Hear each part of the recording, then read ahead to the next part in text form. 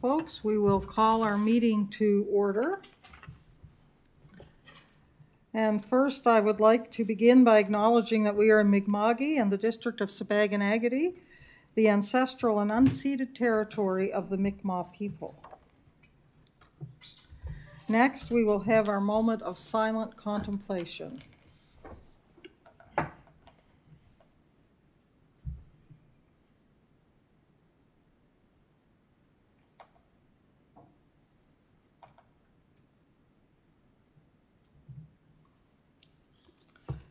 Next, I would be looking for the approval of or amendments to the agenda.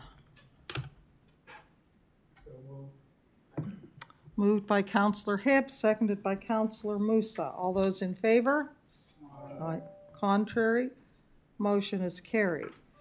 Next, we'll look for the approval of the minutes of May 9th, 2023 regular meeting of council for policy and May 17th, 2023 regular meeting of council. Moved by Counselor Mitchell, seconded by Counselor Tingley. All those in favor? Contrary? Motion is carried. Next, we'll move along to correspondence for information.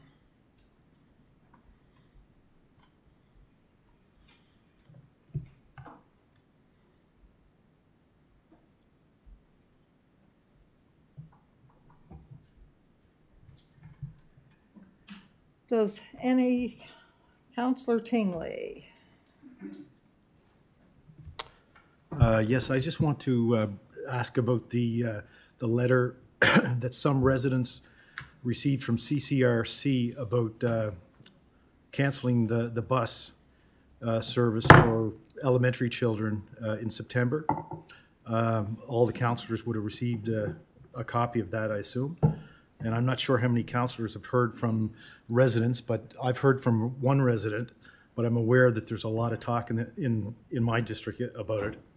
Um, So I'm just wondering if we could set up some kind of a meeting with CCRCE to uh, determine what, what is, what they're doing here, why they never communicated any of this with, uh, with the municipality. Uh, I know uh, the resident that contacted me said they were advised by one of the principals that uh, the municipality would be required to install uh, sidewalks and crosswalks and, and uh, uh, cross guards if tho- those are required. And in some cases, at least a, a cross guard probably would be required if they have to walk to school. Like one of the areas would be through the Lantz roundabout. That wouldn't be a, an easy location to navigate for uh, primary and grade one kids in the, in the morning uh, during rush hour. Uh, So I'm just wondering if we could set up a meeting with CCRCE and find out what their plan is here.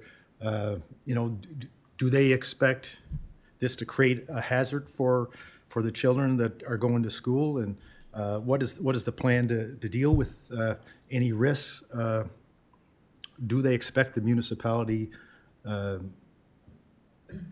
to do anything here? Uh, And, and why, why we weren't communicated in, with in advance? If I could, this is a topic that, it's been around for a while. It's around in the rural area.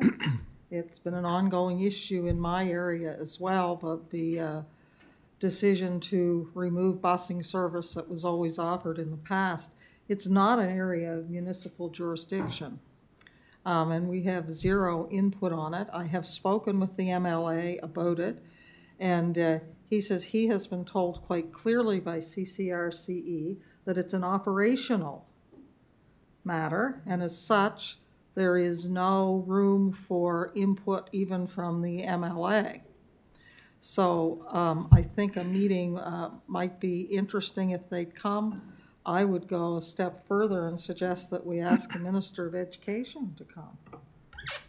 Uh, Just my comments.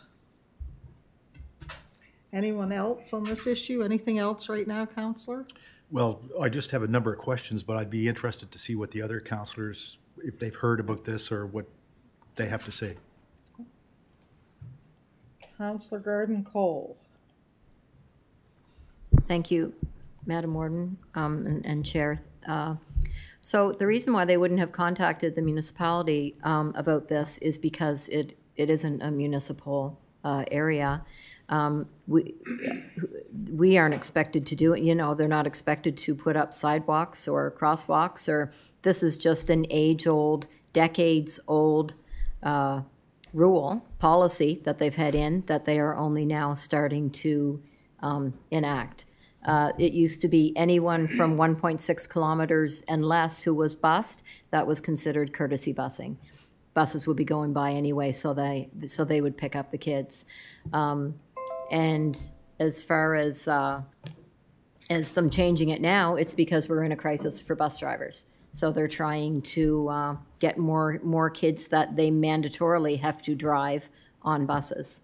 Uh, Once August 24th comes, any uh, spaces on buses that are deemed surplus, um, there will be a um, application process to go through, and that will start with pre-primary age children filling the spots. But from what I'm told, uh, there will be very, very few spots because there's going to be less buses. Um, It's, they're trying to respond to the, uh, to the crisis, or however you want to, to call it, um, with busing these days. I mean, who would have ever thought 10, five years ago that, um, you know, you would have certain days during the week where buses would not be running in certain rural areas 10 kilometers from the, from the schools, not close to the schools. You'll, it'll just say the yellow bus will not be running on Tuesday. And everybody who travels on the yellow bus, no matter how far or how close to the school, will be responsible for finding their own drives to and from school on that day. So that's how they've been trying to deal with the uh, bus busing issue this year. But this is a uh, this is an effort to try and deal with it on a more permanent basis. And I mean that roundabout in Lantz is probably a unique situation in CCRCE for children four years and up having to walk to school through that roundabout. I mean, cars are having trouble navigating that roundabout. I go through that on my bicycle and I'm all, you know, I'm have to have my wits about me. So for little kids to be walking through it, it just is really unrealistic. But yet, this is their policy, and they're they're deciding that they need to to uh, enforce it at this point. So that's just a little information about it. Thank you.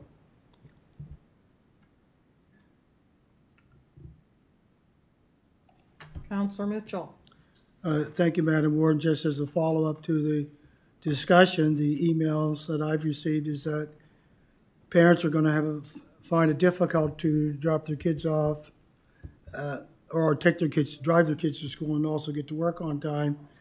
And with the pre-primary programs, some of the parents are going to have to pull their children out of the pre-primary program because they have problems with connection with daycare, et cetera, et cetera. So I think it's uh, important that we uh, convey, convey to the CCR, CE that, of those issues, even though the parents are sending those comments forward, that we as council think that this should be revisited and maybe in late August, they'll decide that uh, there will be enough busing and courtesy busing will continue. In my subdivision, I assume all of my pre-primary and elementary school children will have to walk. And there's no sidewalks and, and my big concern is a safety factor, especially if a child goes missing on the way to school. And by the time you get to that point, it could be very traumatic for the child and the family. And those are my comments. Thank you. Counselor Rhyno. Yeah, following up on a lot here, uh, you know, I understand where Counselor Tingley's coming, coming from, but, you know, basically it's not a municipal issue. But what's frustrating is we don't have, no longer have a school board to go to. We have, we have some kind of uh, entity that makes up, and, and they call themselves a CCRSB or whatever. And it's lost its community connection that you could go to and have a discussion over busing. But, you know, I do believe that it, it's operational, and I do believe that you know, they are, have a hard time recruiting bus operators right now because I know uh, just over on Facebook, every once in a while, you see, this bus isn't running today because they cannot get operators. I, apparently, that's a thing. But I guess, uh, you know, it, it's frustrating we don't have a school board, I guess. And, and I'm going to want to pick up on what the warden said. If she talked to the MLA and the MLA said, can't do nothing, that's an operational issue, who's really running the government? Thank you.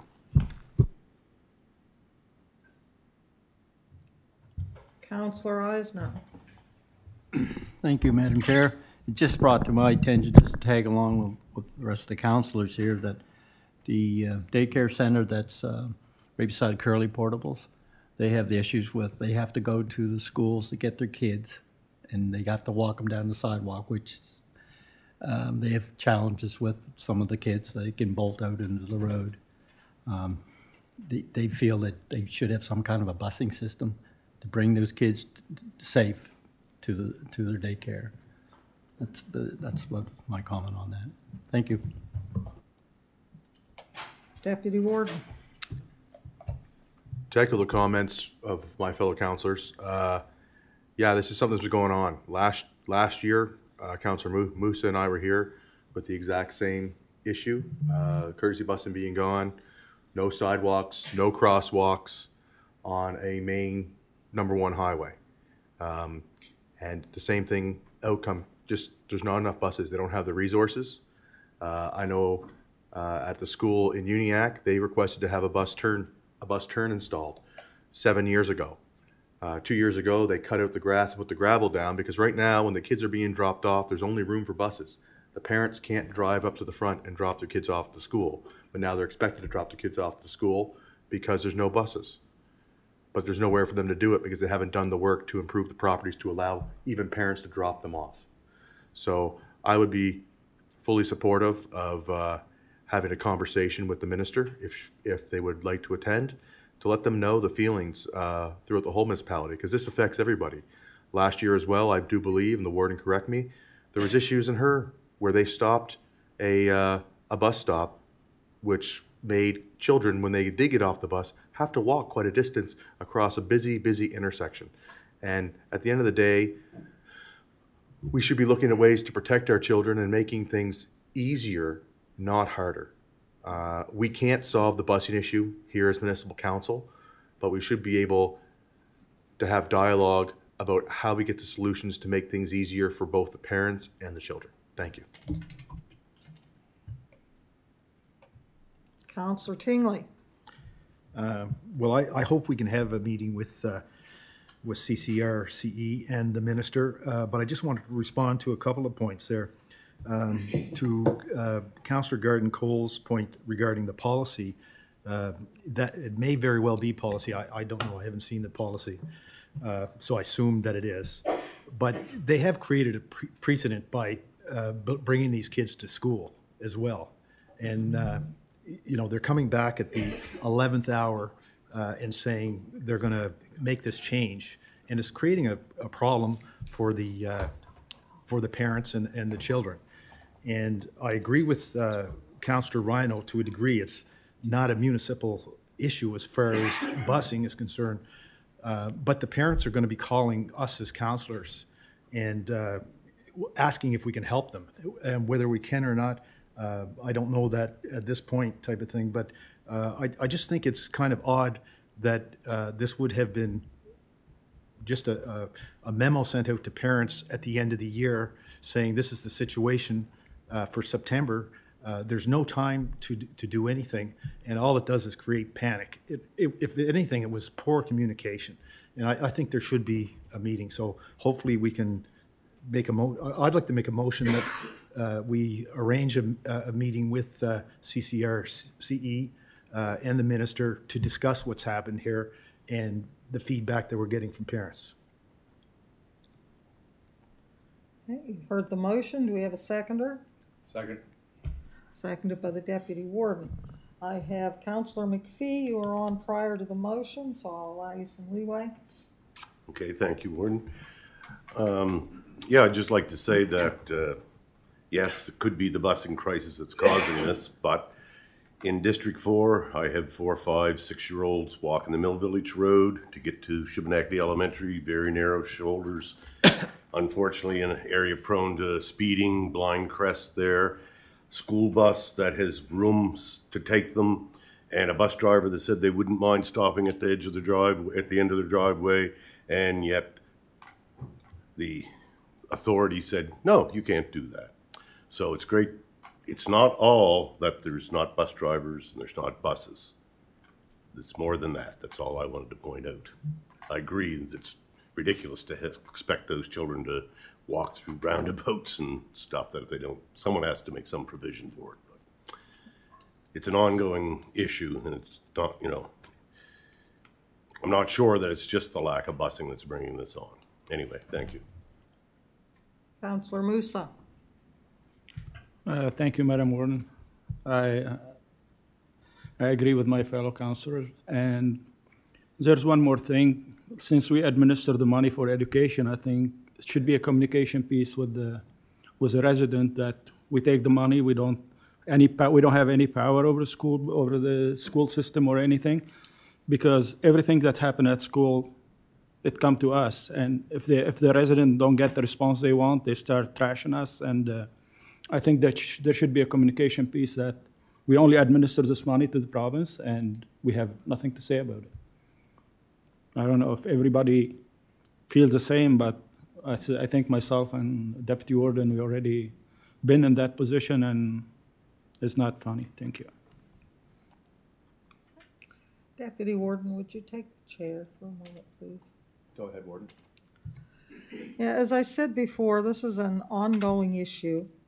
And the distances that have been set for busing, I believe it's somewhere close to one point six kilometers for elementary age children and two point five or something like that for junior high and up. Um, that might be great in areas with sidewalks and crosswalks and all those good things.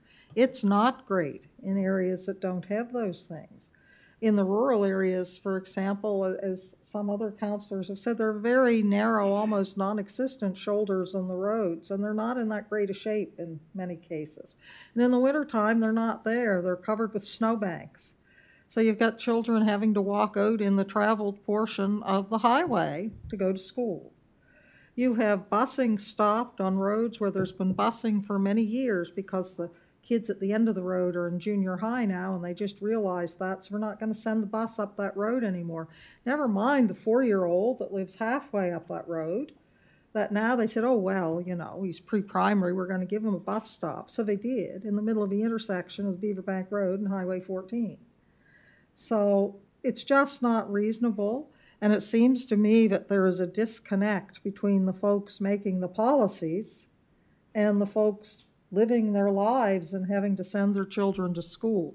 And I understand, you know, a shortage of bus drivers and that. You know, I'm sorry, but that is CCRCE's job to manage that. It's their job, you know, any business or level, it's our job to keep our positions filled and provide the services that the residents of this municipality require. It's- It's CCRCE's responsibility to do the same thing for the students that attend our schools. Um, I have lots of ideas of things that I think would help. And uh, our, I know our MLA is frustrated, but he is told by the senior employees that if it's operational, he has no input. So I think, uh, I don't know if we'll get the minister here or not, but I certainly think we should try. I think this is unacceptable. And um, this is just my personal opinion, but we are required to turn a substantial amount of money over to CCRCE every year to fund education and educational services for our children. And we have no say in how it's used or anything.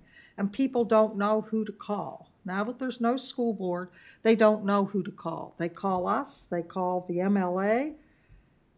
You can't get a number to call anybody who actually has some say about anything, and they're really not interested in talking to people anyway. That's my opinion. And I think that perhaps it's time to think outside of the box. And if we feel that CCRCE is not providing the service they're responsible to provide in a safe and reasonable manner, I think it's time that this municipality start to have a conversation about withholding some of that funding until we receive satisfaction that they're doing a better job than they appear to be doing now. That's just my opinion. Thank you. Thank you, Warden. Back to you. And we do have a motion on the floor, which is to try and set up a meeting with CCRCE and the Minister of Education, and I would assume we would invite the MLAs who represent various parts of East Hants as well. Is there any further discussion on the motion? Question's been called.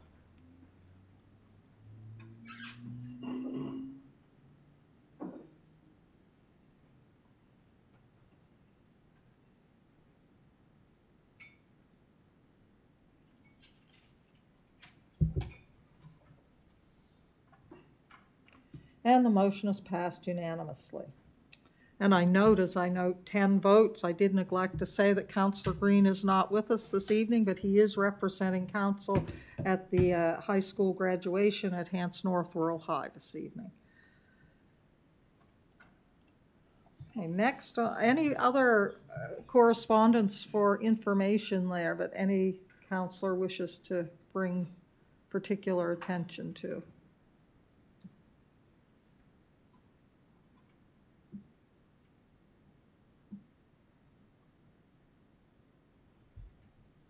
I would myself say item 68, um, the Nova Scotia Provincial Housing Agency.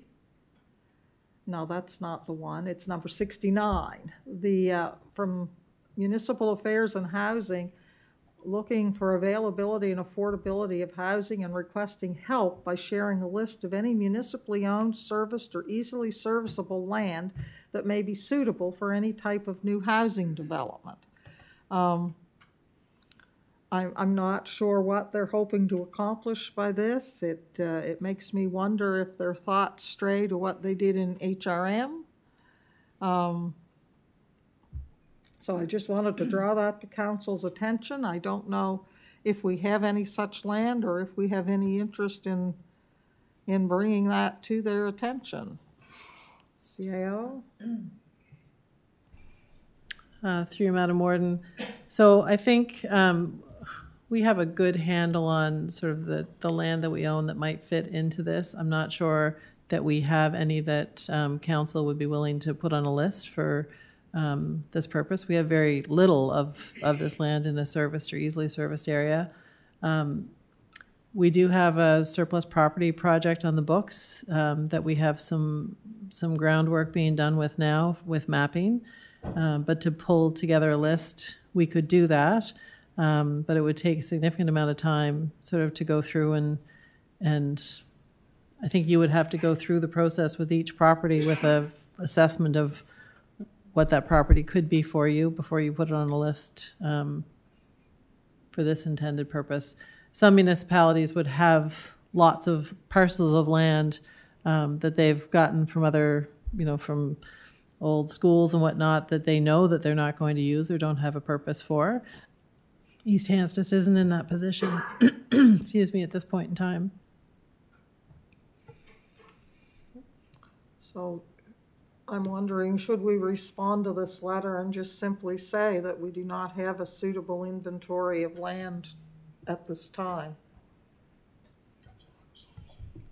Okay. Counselor Rhyno. I find it a little odd that, that, you know, they're only looking for land in the serviceable area or supplying services. You know, well, I can understand their, their thinking for a bit, but there is people that live outside the serviceable area that would require housing just as well. So I, I, so I just find it a bit odd they're, they're just circling in around one area. Thank you.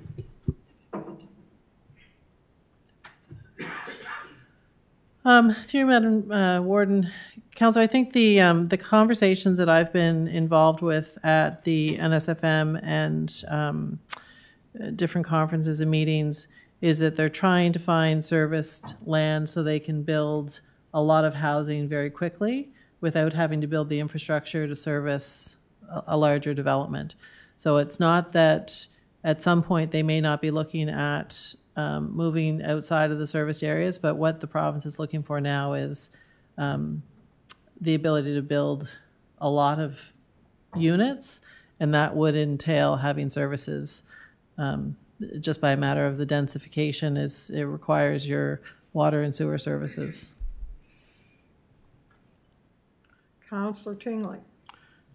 I would move that we uh, respond to this and advise we do not have any serviceable land to, uh, to assist with this initiative at this time.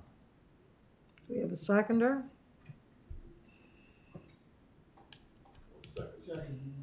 Seconded by Counselor McPhee. Well, I had somebody there, but they're gone. Any discussion on the motion? Question. Question's been called.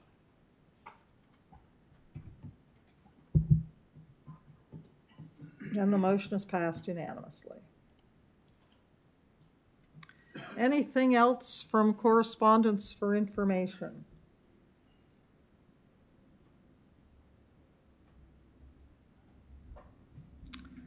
Seeing nothing, uh, we will move on to correspondence for decision.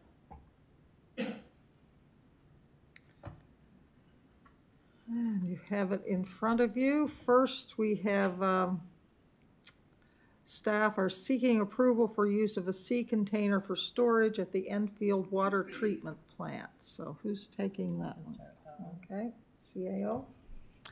So counselors, there's, um, this was brought to our attention through the, uh, current project that's being done at the Enfield Water Treatment Plant, that once we, um, put the tank in the new treatment plant, we require more storage. Uh, one of the ways to do that would be to bring in a sea container, um, on site to provide that storage. Um, the issue we've run into is that all of our public property in the serviced area has been zoned institutional use.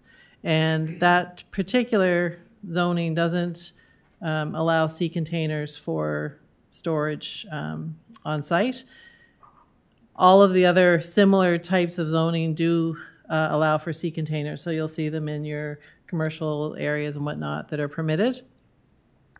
Um, so there is also a section in our land use bylaw that allows the municipality, um, it just says that we're not required to comply with the requirements of the bylaw to license, um, have permission, permit, or authority of anything in the bylaw, which um, is similar to provincial regulations and, and legislation. So um, we are able to, the sea container would be a cost-effective method of providing storage. The site itself is set off from um, sort of down a hill, so it wouldn't be right in anybody's backyard for sight, sight lines. Um, and from the, um, the only other visible way is from the, the highway on that site. So we don't see any issue. Uh, John doesn't have any issue with it from a planning perspective uh, for the utility of that zone um, in this particular instance. Uh, but I certainly wasn't comfortable just saying go ahead um, because I think that's a decision that council needs to um, use its authority for if it so chooses under the land use bylaw section 1.6. So there is a recommended motion. Uh, if you are okay with us moving ahead with this, um, we do have the project is ongoing, so we need to act fairly quickly. The alternative is that we would have to put together plans to build storage on site, uh, which would be a shed of some kind, which is going to put you into um, much more than ten or fifteen thousand dollars for an appropriate size shed.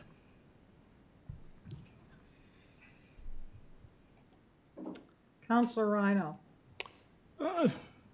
Something's, uh, maybe I'm, I'm just not getting things, remembering things quite well, but wasn't there the development here along Enfield somewhere where they wanted to uh, use uh, containers and it didn't fit and, and we didn't allow that? I- I- Am I correct in saying that?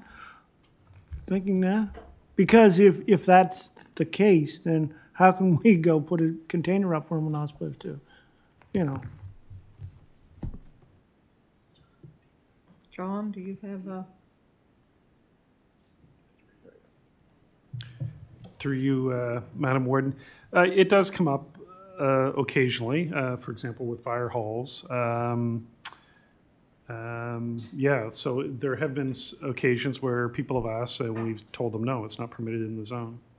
All right, so there, we're setting right there, to me, sets a double standard by saying, oh no, you can't have it, but we can have it. I, I can't support that.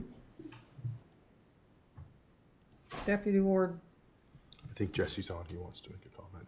I'll let him go before okay, myself. Jesse? you go to you first. Uh, Through Madam Warden, the, the example of, of fire halls comes at, at, at two flips on, on that is uh, exceptions have been made. So, so that an exception had to come in and be requested for the training apparatus at the Enfield Fire Hall, and which was allowed because Elmsdale, sorry, Elmsdale Fire Hall, um, to allow for training for the, the greater good of the municipality and, and, and its constituents. So there is an exception with that. And something discussed at the staff level is we're, we're looking for the one-off exception, but it's a, it's an interesting rule um, that I think needs to be explored at the next time we update the land use bylaw and and discussed and we've internally discussed that as staff. The right thing to do is to go back and review that. So areas that cannot use the, the sea containers that have IU zoning. The Lantz Lagoon, absolutely, that is a pure industrial site with, you can't see anything from there. I could not use a sea container on that site. There's a literal Quonset hut storage area on Highway 277. Can't do that either. Same zoning.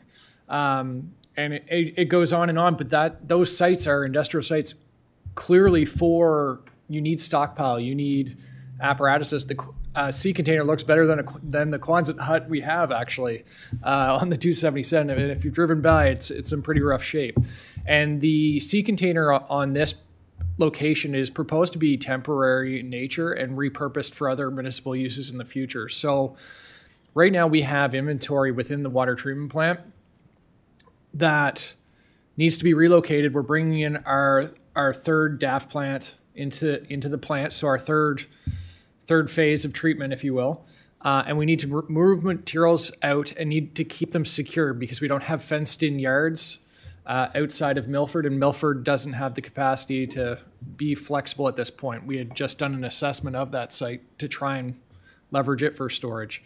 Um, so we're looking for short-term wins while we reassess, or short-term options, which I would consider a win, um, to help alleviate that operational stress. Um, and, and that's the real in-depth why. So um, when I when I c- we have multiple repurposing, um, an interesting fact is we do use sea containers at the waste management center because we don't have zoning out in George- Georgefield. So we use them all over the place.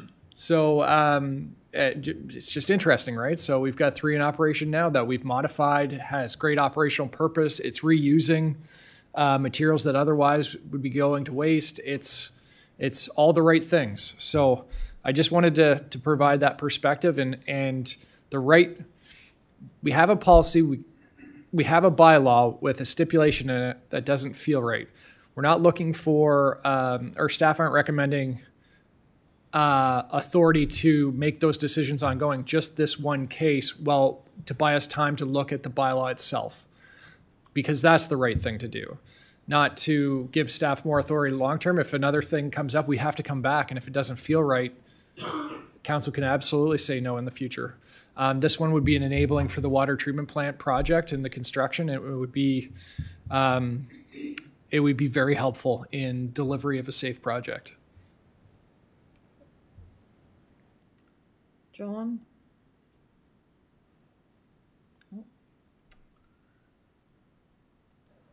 Thank you, Madam Warden. Yeah, I- I'll just pick up on those comments. Um, I- Yeah, per our discussions earlier this week, or, and last week, I guess, um, I think it does make sense at some point to maybe explore a different zone for these facilities, because they are different than this building or the, the aquatic center and that kind of thing. Um, they really are more industrial sites. So maybe we talked about calling it an infrastructure zone that would have more, you know, be more like an industrial zone and allow things like storage containers. So, or at least modify the um, the institutional zone when you have facilities like that. So that's something we can look at in the future. And uh, yeah, just reminded me about the. Um, the Elmsdale Fire Hall, that, that was a little bit different. We didn't, um, sea containers aren't permitted for storage there, but they, in that case, it was a building they built out of sea containers for the training facility, so that's how that was permitted. So it, it wasn't um, an exception, it was actually permitted because of the way they built it. So this would be an, an exception that we're looking at here.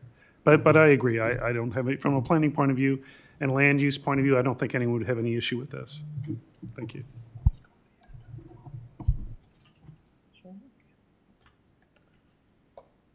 Counselor Isenor. Thank you, Madam Warden. Through you to staff, what, what's going, to containers going to be used for? And you say storage, I know you use a lot of chemicals down there. Uh, Through Ma- Madam Warden, we would not be storing chemicals. That requires a significant more amount of work and control. This is uh, additional piping, um, water meters, things that aren't um, aren't, aren't need to be, don't have to have strict environmental controls that we don't have to add on to anything for safety uh, like extra venting or anything like that so it's just basic storage uh, of those types of materials that the utility uses for water breaks things like that I would just suggest to put into, get it done up. You got to have storage. Everybody's got to have it. Thank you. Counselor Mitchell. Thank you, Madam Warden. Just to follow up on the discussion, yes. We at, we at the Elmsville Fire Department have, uh, I guess, sea containers, as you call them. Uh, The ba- premise back then was to build a training facility, and I'm assuming that the training facility that's going to be built in Hants North, using our model, will be similar, using the containers. They're very secure and very sturdy, and they can be secured in a proper manner. So based on that, that the directors said they're only temporary and can be used where needed across the municipality, I'll move the recommended motion as presented. I moved by Councillor Mitchell, seconded by Councillor Tingley. Counselor Rhyno. Just a question through you, staff. You know, could, could not there be seen uh, a need for storage prior to all this? And why, why is it at this hour? Through Madam Warden, excellent point. There was a an, another project that was in the plan to uh, assess and increase storage in Milford.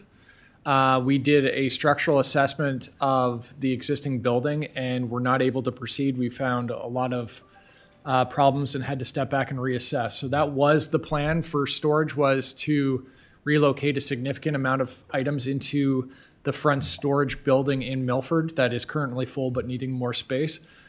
Um, but there was a lot of technical error, um, things that came up and are, are pushing us to, um, at a high level, seek out new locations for laydown yards and fenced in locations in the future. We just haven't got there. So the original plan was set. We we had the assess pre-assessment started, uh, and then um, that option stopped, and we thought it would happen at the same time. So that was the goal for it to all happen at the same time, and then that second leg project that was in the books and was in the budget uh, fell through, and we didn't weren't able to proceed. So that was the the rationale as to why. So it was foreseen that we needed something, um, but that came the option came up short, and we've been seeking alternatives since. Any further, Counselor? So,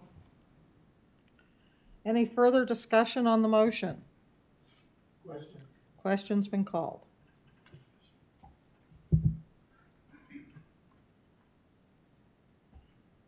And the motion is passed by a vote of nine to one with Counselor Rhyno voting nay. Okay, returning to our agenda. The next item is the draft response to the NSFM policing survey for council's review and consideration. CAO. Counselors, this um, is a, is a survey that was sent to us by the NSFM.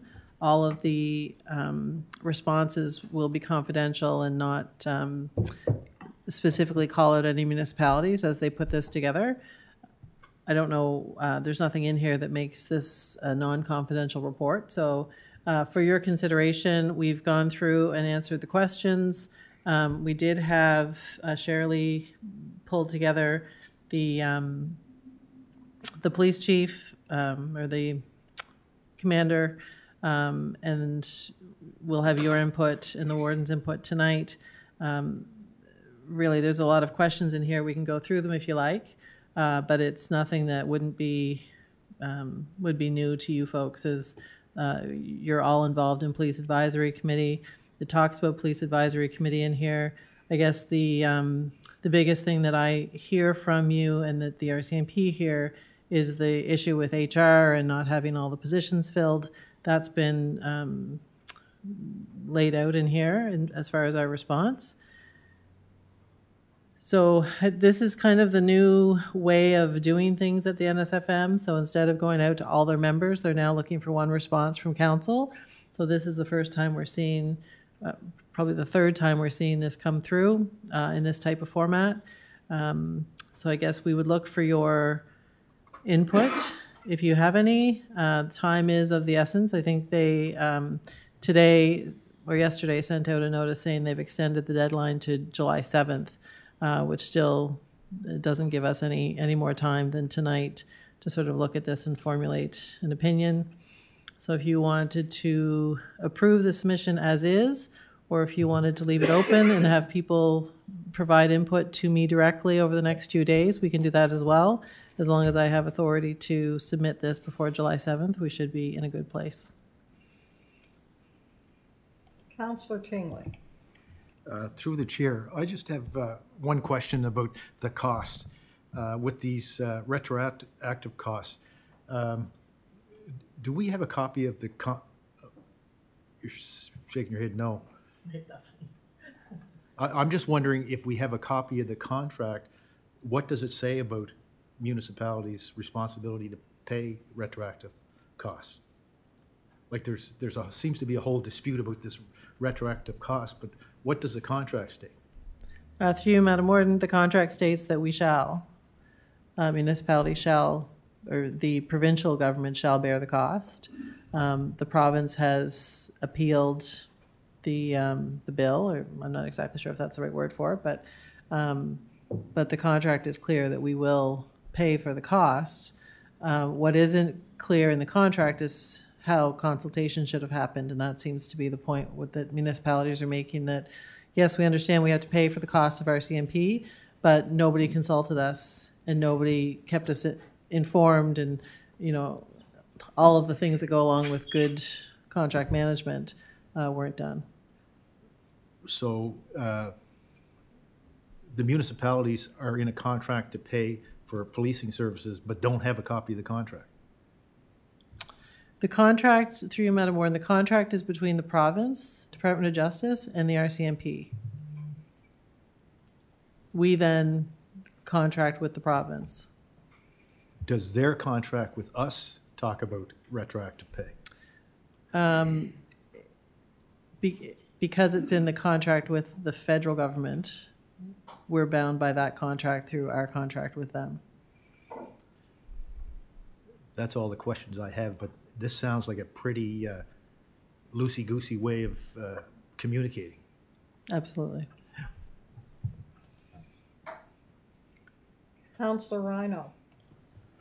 Well, my concern is by answering this in this way, this bypasses the police advisory board, uh, bypasses the public members.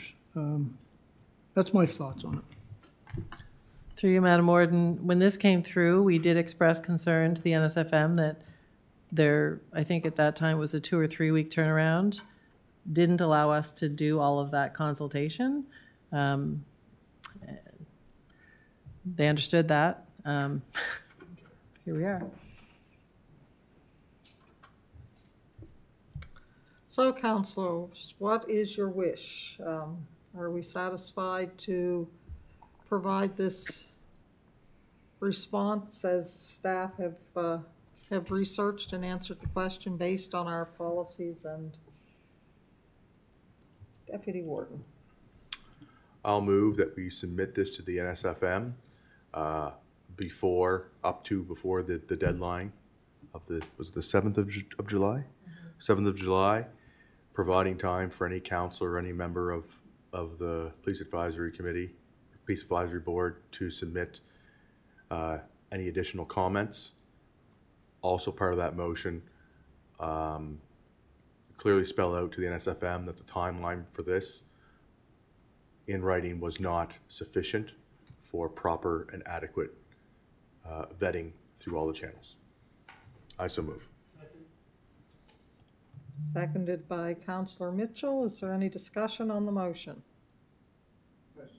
Question's been called.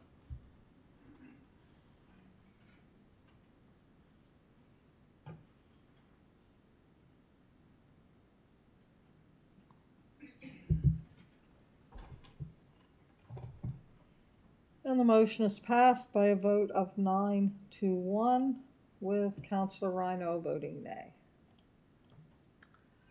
Okay, next item for correspondence for decision is a request from the Ecology Action Center seeking interest in signing on to a joint statement from Nova Scotia municipalities and the Ecology Action Center calling on the province and Minister Halman to release regulations for the Coastal Protection Act.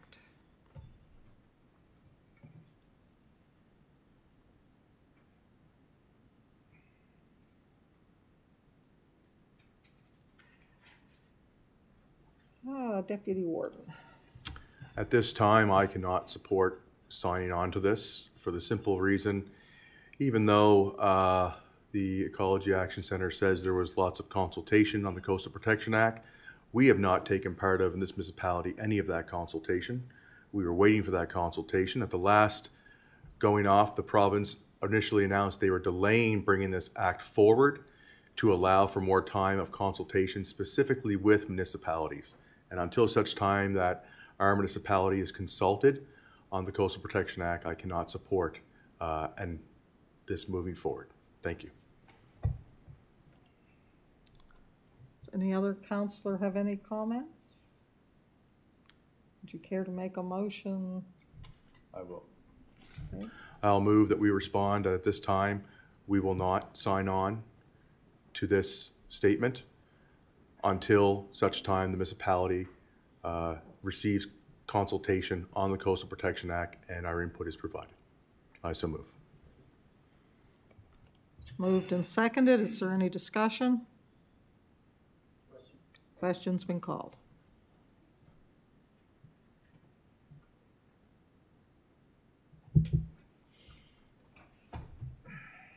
And the motion is passed unanimously.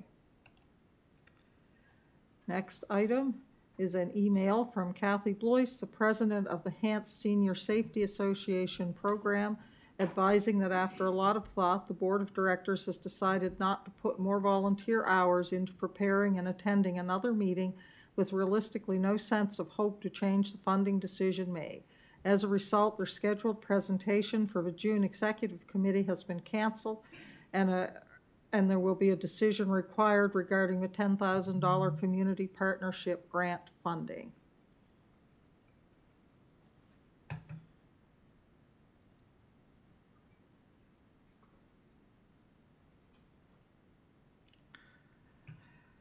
I don't know if any member of staff has any comments.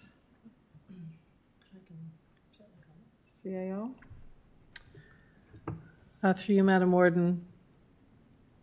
Uh, This was, um, this email came as a bit of a surprise. We anticipated that the Hants County Senior Safety Association would be joining you in June um, to receive funding. They have been funded by the municipality, and there was a question this year as to um,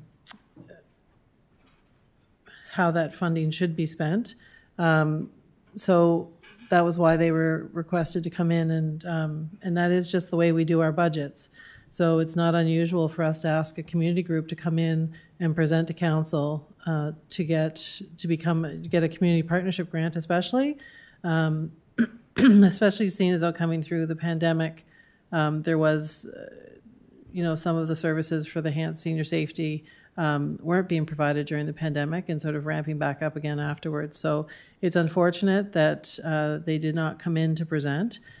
What this does, however, with them pulling out of East Hants, it does leave us with a gap in our programming. So I think council needs to um, take a look at that and see what kind of um, programming we may be able to put together for seniors. I think the, you know, there's definitely room in your, in your programming portfolio for a senior engagement position of some kind. Um, there's a lot of folks that, that really benefit from the work that is done with senior safety. Uh, but I think there's also, we've seen some really good uptick in um, senior programming around the municipality that, um, that you could really um, work on and, and improve. So I think going along with what's in your strategic plan to make sure that we have um, members of our community who feel included, and on your safety piece to make sure that members of your community feel safe um, and have the supports they need from around the community. I think it wouldn't be out of line to um, request a report, uh, probably from Alana's department, to see what might be able to be accomplished within the budgets you have or moving forward with additional funding um, to provide that support to seniors in, in the community. And, you know, we've, we've had some luck with a seniors um, social here in Elmsdale, but I think that same model for different programs around um, Mount Uniacke and in the rural areas as well would truly benefit some of your community members. So uh, we could certainly prepare a report for council on some of the options and um, see where we go into the fall. Thank you. Deputy Warden. Thank you, Ward. Um, To say I'm disappointed in this email or this response would be an understatement. Uh, I really do take exception that they make the claim there was no realistic sense or hope of change of funding and decisions made. Our community partners come in all the time, do presentations, and as council, we make decisions based on the presentations and the evidence they provide us. We- The ask at the end of last year was, for the money that we are providing to this organization, how many residents of East Hants did you service? That was the question that they did not answer, and they were gonna come in. If you look at the community rider, the community rider was a community partner. They came in, did a presentation, uh, a very good presentation, and they received extra funding. It's, it, there is no expectation that you will not receive funding if you come in and do a presentation. I believe that's the only real way you can get an increase of funding is coming in and doing a presentation to make it clear and transparent to, to the residents what is being funded. So I take, I take exception to that comment. But I will move that staff prepare a report and come back to council with options to increase and provide senior services throughout the municipality and funding and positions that will be required. Seconded. By Counselor Tingley. Any discussion on the motion? Question. Question's been called. Oh, Councillor Mitchell's on. Oh, Counselor Mitchell? Uh, I agree with the uh, motion. My question is, could we send them a thank you for their service over the years? And Perhaps after we deal with this motion, you would like to make a Okay, motion to thank you. do that? I think that would be appropriate. Now, the question's been called, we'll go to the vote.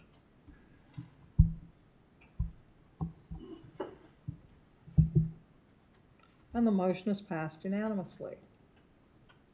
Counselor Mitchell, yes, thank you, Madam Warden. I'd like a motion to send them a thank you to the president and to the board of directors for their service over the years. I Them was greatly appreciated that they were looking out for senior safety. seconded by Councillor Hebb. Any discussion on the motion? Question's been called.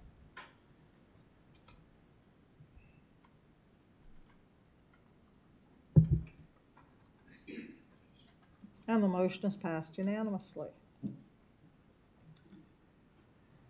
Okay, moving along, we have a request from the Rotary Club of Sackville seeking a $500 general government grant funding for the Recycle Your Cycle program that provides bicycles and helmets to kids who need them, including children from the Mount Uniacke area.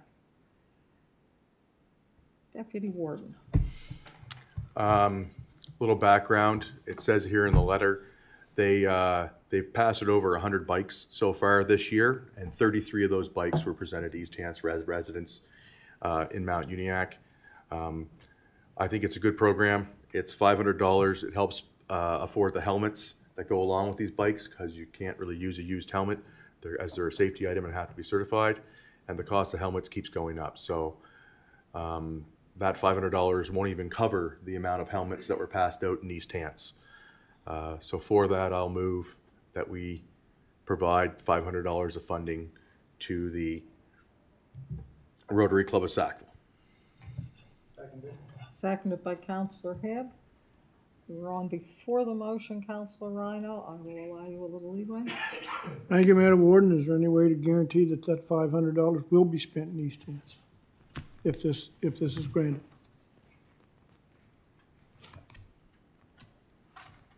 I, I would just, to, to answer your question, Counselor Rhyno, I would say they've already spent way more than five hundred already in East Hants. I don't doubt your word, but is there any way that we can have this proved? Because I wouldn't want to see uh, taxpayers' money going to outside of the municipality for a project like this. If we're gonna give grant of money from taxpayers' money, I would like a guarantee that that money will be spent within East Hants. I think what we could ask for would be a report from the group outlining how many bikes and helmets, s- similar to what other groups have to report after they receive their financing. We could certainly ask for that report. That, but that report may not, it will not guarantee that that money being spent in East Hants, and this is, this is what I'm hung up on. It would provide us the information to make decisions on any future grant requests, so. Well, We really, have the experience in the past that it has been spent without a grant, so. Well, if, to me, if there's no guarantee, I can't support the motion. Thank you. Any further discussion on the motion? Question's been called.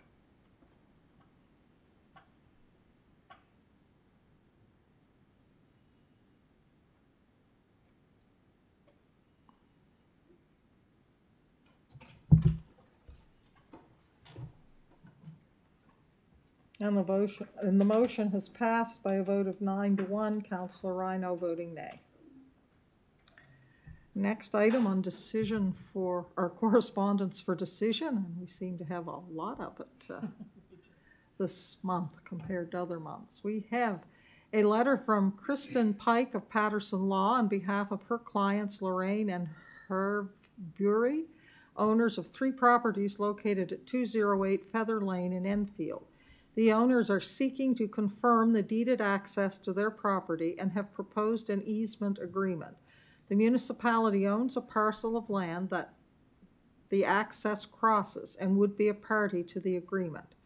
The suggested motion is that council authorize the CAO to enter into an agreement to permit an easement across Lot 8 at 14 Feather Lane, identified as PID 451-53814 for 208 Feather Lane, based on legal review and any subsequent changes that keep the intent of the same. So CAO, let's translate that for us. Thank you, Madam Warden. Uh, So we have this request. Um, The property in question that the municipality owns is the property that our engineered spring sits on.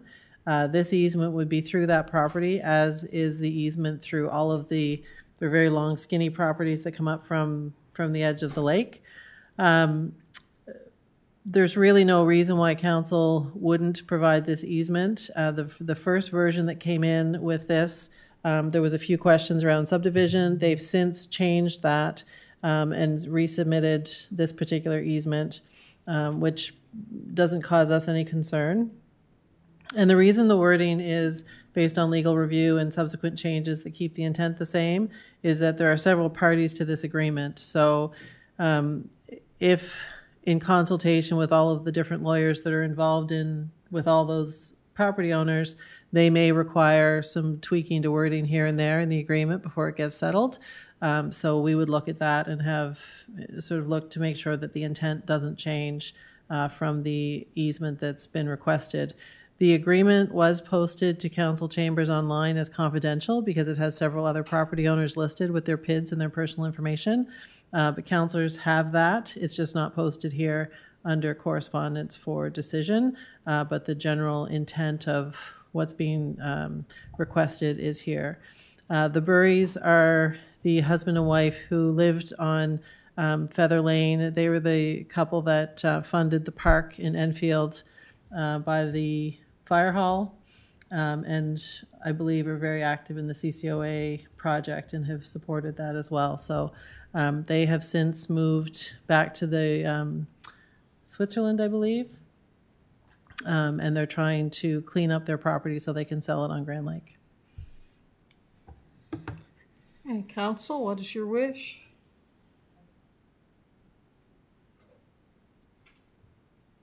Someone prepared to move the recommended motion or something different?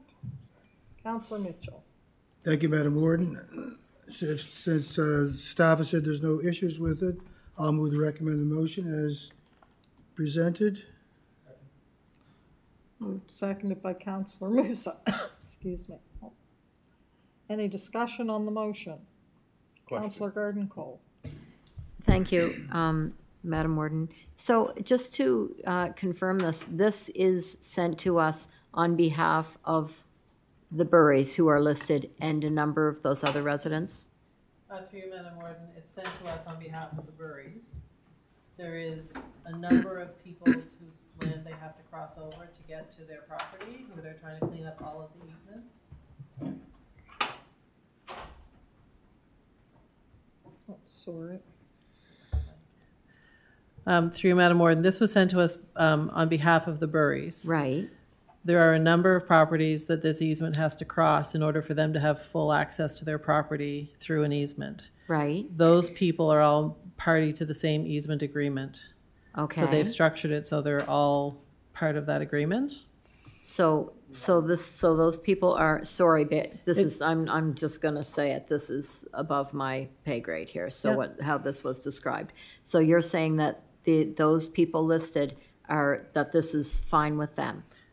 We haven't consulted with them. The way that the easement will work is everybody will have to sign on for it to happen. Because the, the property in question is on a point. So that you have to cross over all of the other properties to get to the point. If one of those parties doesn't sign, then they don't have a clear easement to their property. So I'm not sure what would happen at that point. But from a that's- municipal, municipal perspective, we have no reason why we wouldn't let them cross over with an easement over the municipal property. Okay, okay, Yeah. good, thank you, I just wanted to be clear on that, thank you. Counselor Rhyno. I guess I don't have a concern with the subject. I guess I have a concern with around procedure. It seems to me we often are making motions that are not being read into record. They're saying as, as the recommended motion. I guess uh, I would prefer that they be read into the record and not just say as presented. It's one thing to do that at executive. I, I feel it's another issue to do it uh, at uh, council. And uh, they, sh- in my opinion, they should be read into the record, not just say as presented. I did read the motion when I presented the case. But the mover did not read, read, read the motion. That's my point, it's procedure. Any further discussion? Question has been called.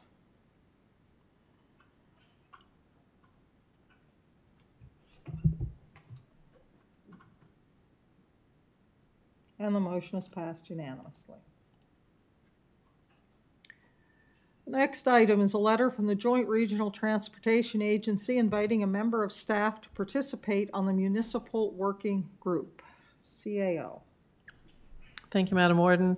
Um, I think you're all familiar with the Joint Regional Transportation Agency. Uh, John Woodford and I have been participating in their um, discussions to this point.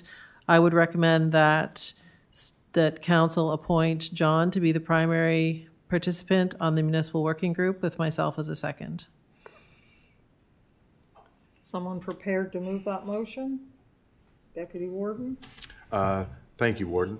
Uh, I'm prepared to move that motion. Uh, One of the things, though, I'd like to see that if discussion comes up in this group that affects a certain area or a certain community, that the district councilors be talked about before anything is, is committed to, because there are definitely some things I know in my, in my district um, that the people do not want, but there's other people who seem to want it. And I want to make sure that the voice of the people who live there is, is heard as well.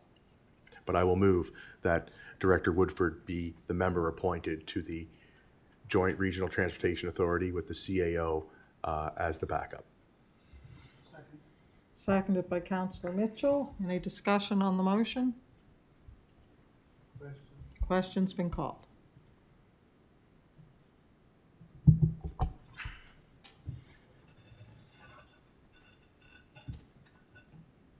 Someone has not voted. And the motion is passed unanimously.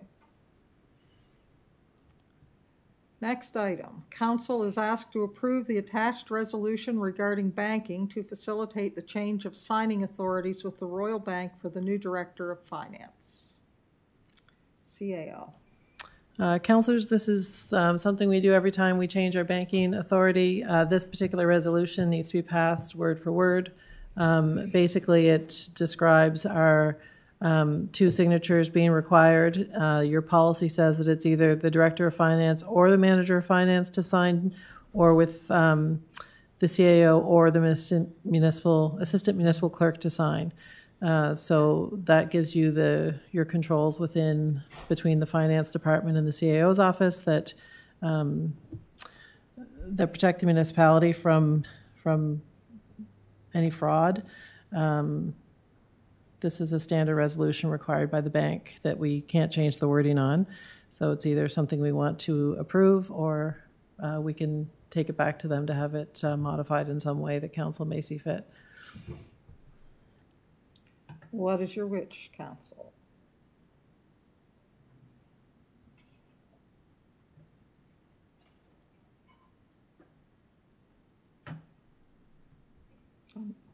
Deputy Warden.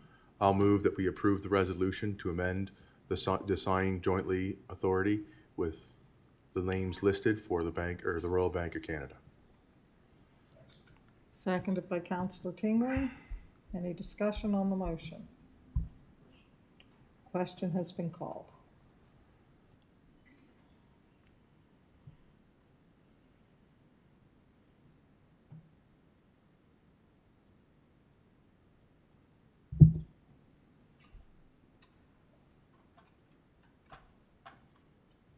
And the motion is passed unanimously.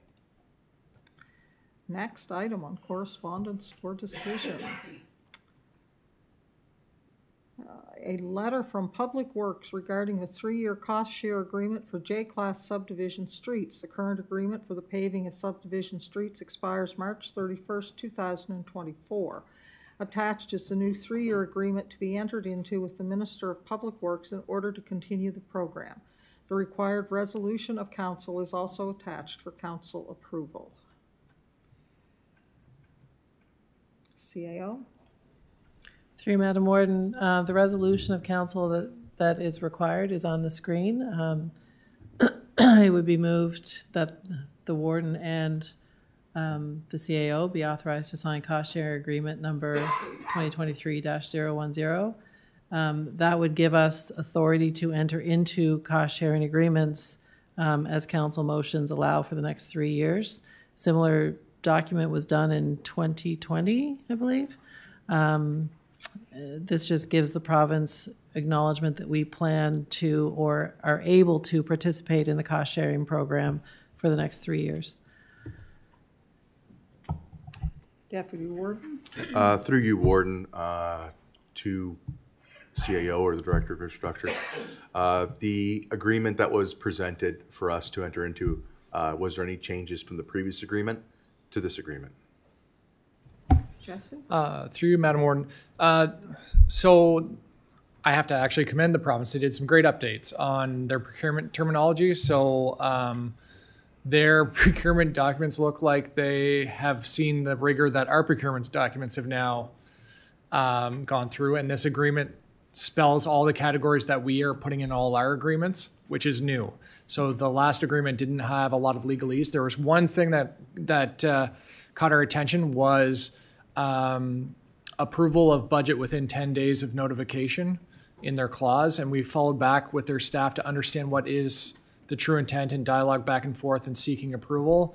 And they, the province came back, no, it's understood that if there, there's adjustments, there will be a time to, to debate and dialogue and get those through procedures. So it was just a standard wording that they were using across the province. So we sought out verification. We fought, found that significant difference in wording in from years past because it was it was blank on the topic before, so they had, so they brought that in. Um, but in the overall, it's modern language in the agreement, but the same principles from years gone by. It would be my my my high level summary. Okay, thank you. Uh, That, that answers my question. So I would move the resolution that the warden and CAO be authorized to sign cost share agreement number 2023-010.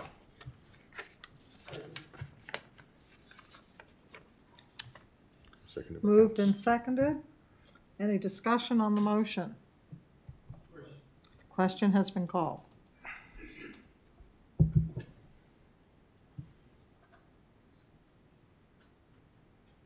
Someone has not voted.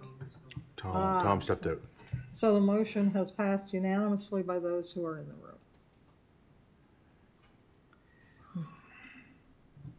Does that concludes correspondence for decision, folks? Yes. Next, we will, pardon? Yeah, it was a, a lot, yes. Uh, next is the ratification of the Mount Uniacke RCMP lease agreement. And who's taking that one? Adam.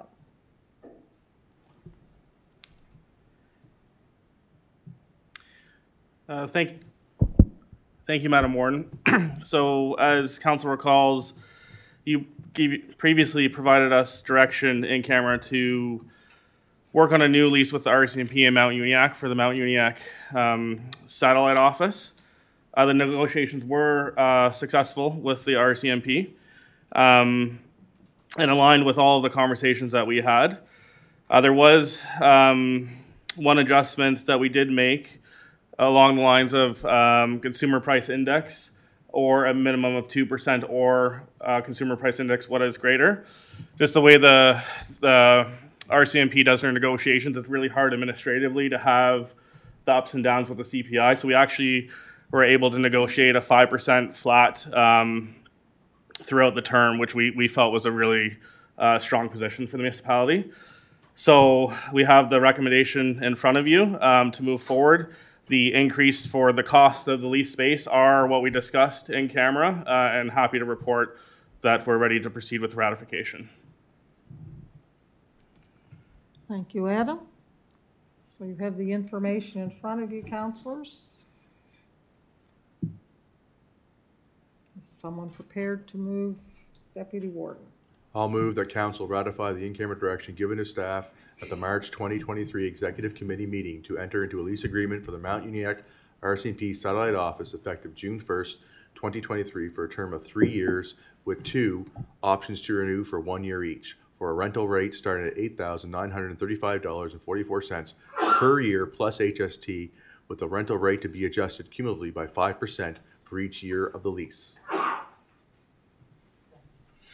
Seconded by Counselor Garden Cole. Is there any discussion on the motion? Question has been called.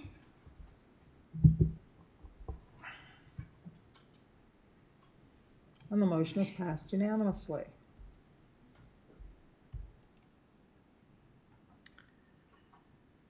Oh, next item is first reading of bylaw P thirteen hundred, the blasting bylaw. And that will be coming from Counselor Mitchell.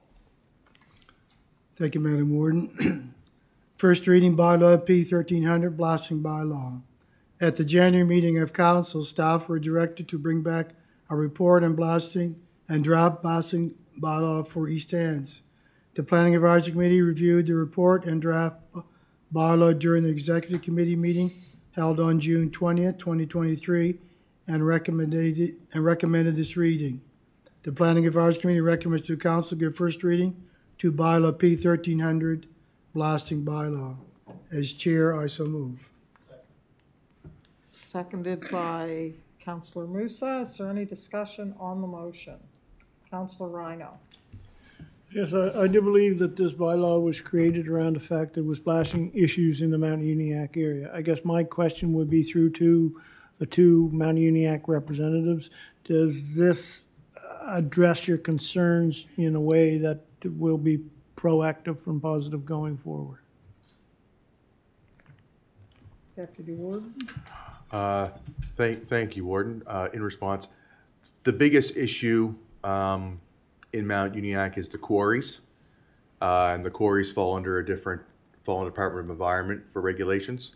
Where this will help is anywhere where there's new development taking place, um, and they are required to blast for roads or create their own blasting on site, they will fall under, the- under this bylaw.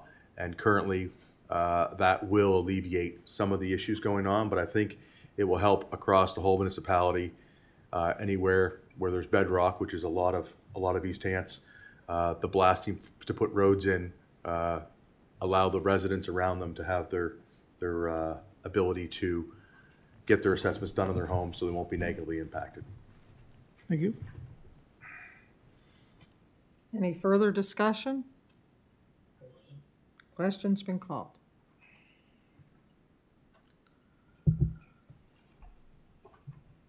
And the motion is passed unanimously.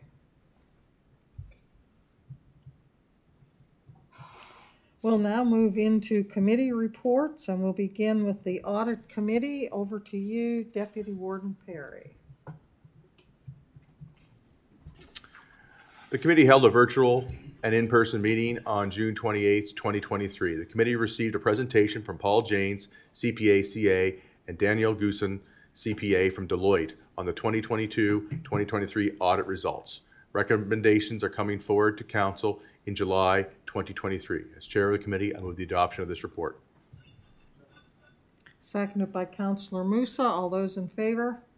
Aye. Contrary, motion is carried. Next, uh, we'll stay with uh, Deputy Warden Perry for Corporate and Residential Services Committee report. The committee held its regular meeting on June 20th, 2023 in council chambers. The following motions are coming forward as a result of that meeting. Counselor benefits. NSFM group benefits are now open to counselors. Cost share for the coverage would be 50% paid by the counselor, 50% by the municipality. The CAO gave counselors four options for coverage, life insurance, accidental death and dismemberment, and dependent life insurance only, health and dental only. All benefits or to not join the plan. The Corporate Residential Services Committee recommends to council, council members be eligible for life insurance, accidental death and dismemberment, dependent life insurance, and health and dental coverage. Chair of the committee, I so move. Seconded by Councilor Mitchell. Counselor Rhyno. Well, it's no surprise, isn't, as stated in committee, I did not support this, and I still do not support this.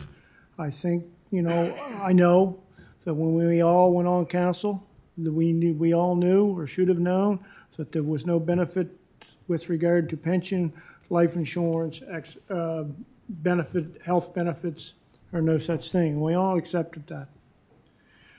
And, and as I understand it, if this passes, it will be one half the employee and one half of the employer will be paying the premiums. So that means the employer, the municipality of East Hants, will, or the taxpayer, will be paying half. And we, the recipients, will be paying half. But my, my, my point is, we, the recipients, are paid by the taxpayer as well. So the taxpayer is funding this whole thing. As was brought up here in executive day, this fo- follows on a seven percent increase in our stipend that we get this year. Next, and I want to remind everybody, coming Saturday, seventeen percent interest to, to, uh, or seventeen percent increase in the, in tax, in the gas tax. Seven, and that same on heating oil. A ripple effect on that will be the cost of food, the cost of uh, supplies coming in, because everything is trucked in. So costs are going up. This, to me, is not a, not the thing to do. It's no wonder that, that uh, uh, politicians are viewed the way they are when we bring something like this in halfway through a term, when we didn't have it before, and we were elected when we didn't have this before. It was brought up here, oh, it could be uh, an advantage to attract new, new people to run uh, for council. And as I stated in the executive, if people are running for council to get health care and benefits, I wouldn't vote for them. So it's, I, I'm, I'm just thoroughly upset with this, and uh, I will not be supporting this, and uh, thank you. Counselor Tingley. Through the chair, I just have a question. Uh, Can councillors opt in or out of this program? Only if you have existing benefits. Any counselor who has pre-existing benefits can opt out. If you don't have existing benefits, you would be required to participate. Or alternative benefits. Okay. Uh, Well, I do have benefits, and I, I initially, in executive, uh, was against this, but after thinking about what everybody said, um, I, I think I'm more for it, uh, for the people that do, do not have benefits, for all the reasons that have been stated, so uh, I'm, I'm just going to support this motion. Thank you. Any further discussion? Question's been called.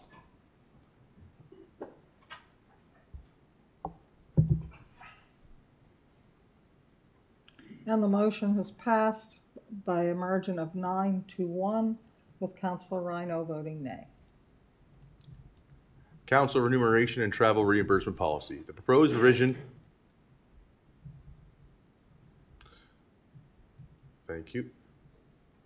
The proposed revision to policy is an increase to the meal allowance to bring them in line with the amounts allowable at the Canadian Revenue Agency.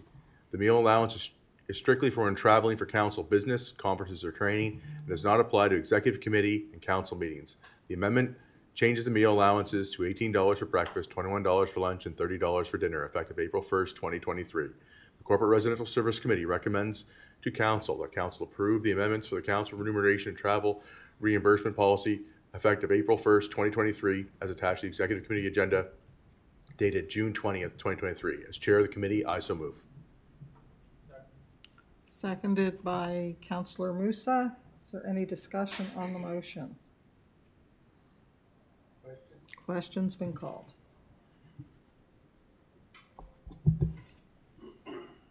And the motion is passed by a vote of nine to one, with Counselor Rhyno voting nay. Year-end memo. Part of the presentations for the audit, part of the preparations for the audit committee is the analysis of the operating capital funds. Several year-end entries are required to prepare the financial statements. These are unpredictable and/or the exact amounts are unknown at budget time. On the capital side, funding source amounts do not require any adjustment for any projects. All adjustments being recommended are for either unavoidable or prudent to make and can be considered by council to be unsubstantive in their nature. The council, the Corporate Residential Service Committee recommends to council that they approve the year-end adjustments to the operating funds included in the 2022-2023 year-end adjustment report presented to Executive Committee on June 20th, 2023. As Chair of the committee, I remove. Seconded by Councillor Hebb. Counselor Hebb. Any discussion on the motion? Question has been called.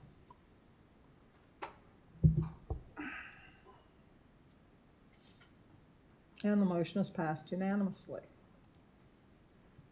Special Reserve Policy Update. The Municipality established reserve funds to finance future expenditures which minimizes tax rate fluctuations. The appendix to the Special Reserves Policy is listed, lists the purposes of each fund and where applicable, how it will be funded. Based on council's motions and the approved budget, changes to the appendix are being recommended. The Corporate Residential Services Committee recommends to council that council amend the special reserves policy attached to the 20th of June 2023 Executive Committee agenda. As Chair of the committee, I so move. Seconded by Councillor Mitchell. Is there any discussion on the motion? Question has been called.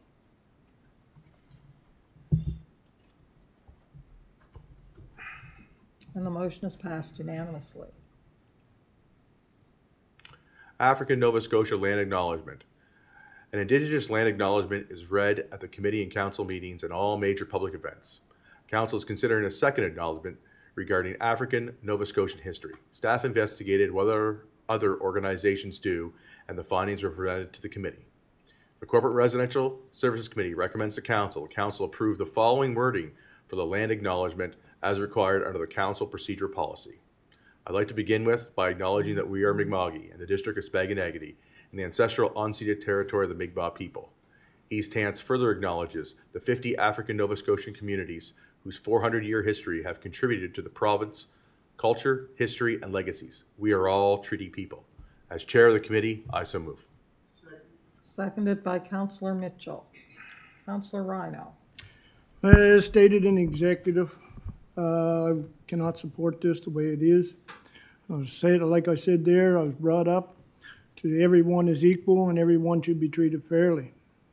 I do understand the Mi'kmaq land acknowledgement, but I guess I don't think this other acknowledgement goes far enough to uh, identify other um, peoples or groups of peoples that have come to Nova Scotia and Canada and who have contributed to this province also. I would like to see this go back and be a more inclusive acknowledgement. If, you know, when we head down this road, I think it should, we all should be equal and we should be equal if we're going to do, do an acknowledgement. And I do not feel that this, this, the way it's written, goes far enough and does not acknowledge the other people who have, uh, other groups of people who have contributed to this great land of ours. Any further discussion? Question's been called.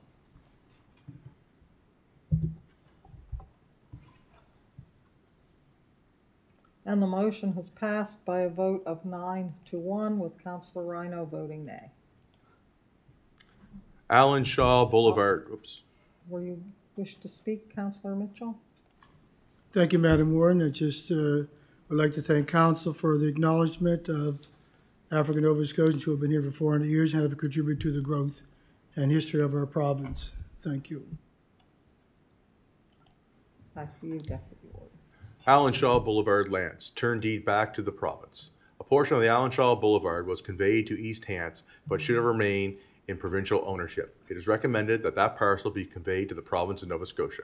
The Corporate Residential Services Committee recommends to council, the council deem parcel AS one Bravo surplus and authorize the CAO to execute deed, execute a deed conveying parcel of AS one B Allen Shaw Boulevard to the province. As chair of the committee, I so move. Seconded by Counselor Tingley. Any discussion on the motion? Question's been called.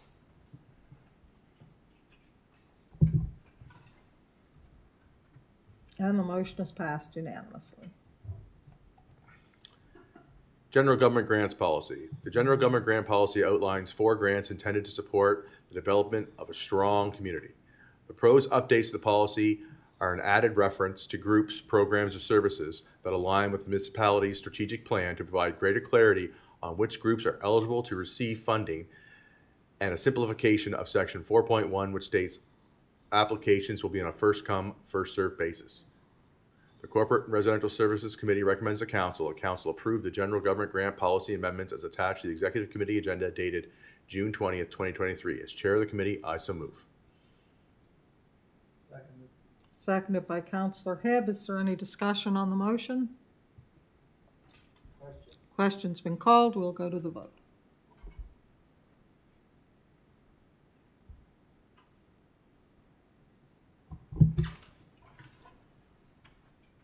And the motion is passed unanimously.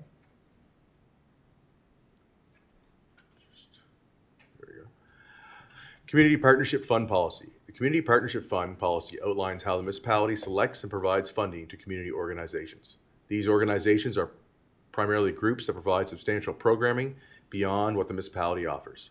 The pros updates to this policy are clarifications around the strategic plan and timing of deliverables, and the cosmetic change to reflect an updated municipal template and standard.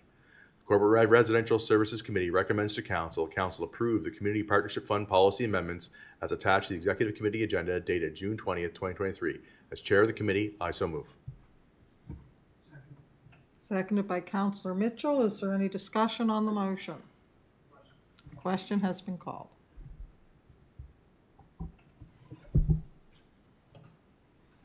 And the motion is passed unanimously. As Chair of the committee, I move the adoption of this report. So moved and seconded. All those in favor? Aye. Contrary, motion is carried. Next, we will go to Counselor Mitchell for the uh, Planning Advisory Committee report.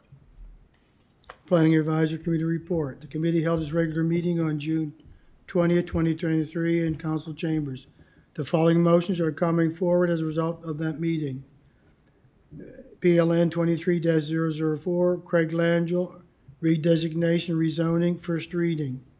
The municipality had received an application from Craig Langell to redesignate and rezone the property at twenty-five Burgess Road, Shubenacadie, as well as extend the Shubenacadie growth area, growth management area to enable construction of a two-unit dwelling.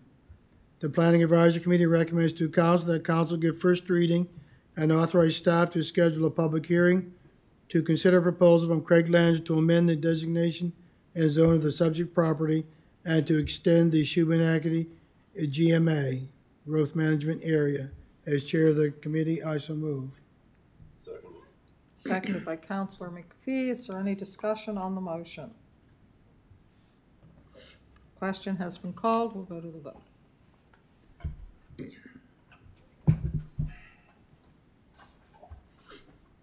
And the motion is passed unanimously. Back to you. PLN twenty-three 1 Andrew Kim, Development Agreement, Mixed Use Building, Initial Report. The applic- application is for a commercial building at two five one Highway two fourteen Elmsdale. The application includes a drive-through, which requires a development agreement. Discussions were held around the placement of the drive-through over a water transmission main easement and traffic concerns. The Planning Advisory Committee recommends to council that council give initial consideration to enter into development agreement for a mixed-use commercial building, which includes a drive-through located at two five one Highway two fourteen Elmsdale, to enable a public hearing and to authorize staff to to schedule a public hearing. As chair of the committee, I so move. Seconded by Counselor Hebb. Is there any discussion on the motion? Question's been called.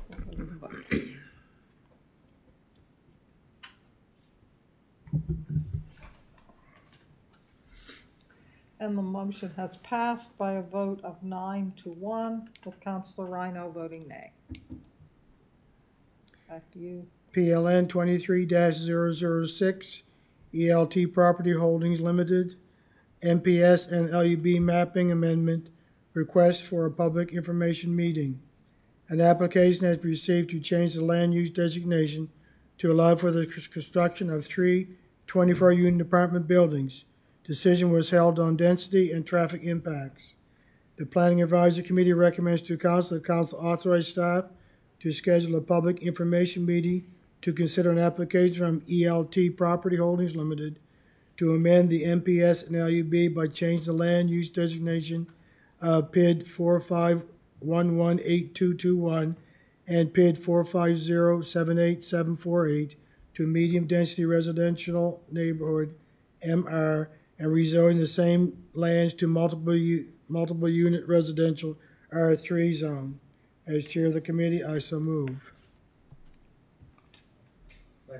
Seconded by Counselor Hebb. Is there any discussion on the motion? Question. Question has been called.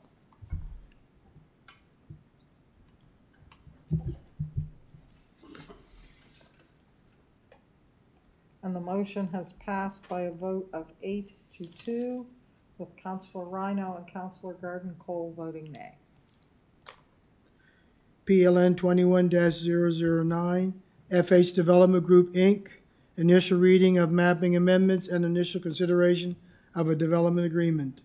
An application be received for a development agreement for a mixed-use master planned neighborhood. An open house and public meeting was held, were held May second, twenty twenty-three. Discussion was held around limiting the number of units built to one hundred before requiring a second entrance exit to the development. The Planning Advisory Committee recommends to council that council direct staff to discontinue allowing developments to exceed the hundred unit minimum before requiring a second entrance exit when negotiating development agreements prior to coming to council. As chair of the committee, I so move. Seconded by Counselor Moussa. Is there any discussion on the motion? Counselor Tingley. Question uh, through the chair to staff. Um, th- Will this pose a problem for development, uh, like 100 units? Because you could have one building that's 100 units. John? I'm trying.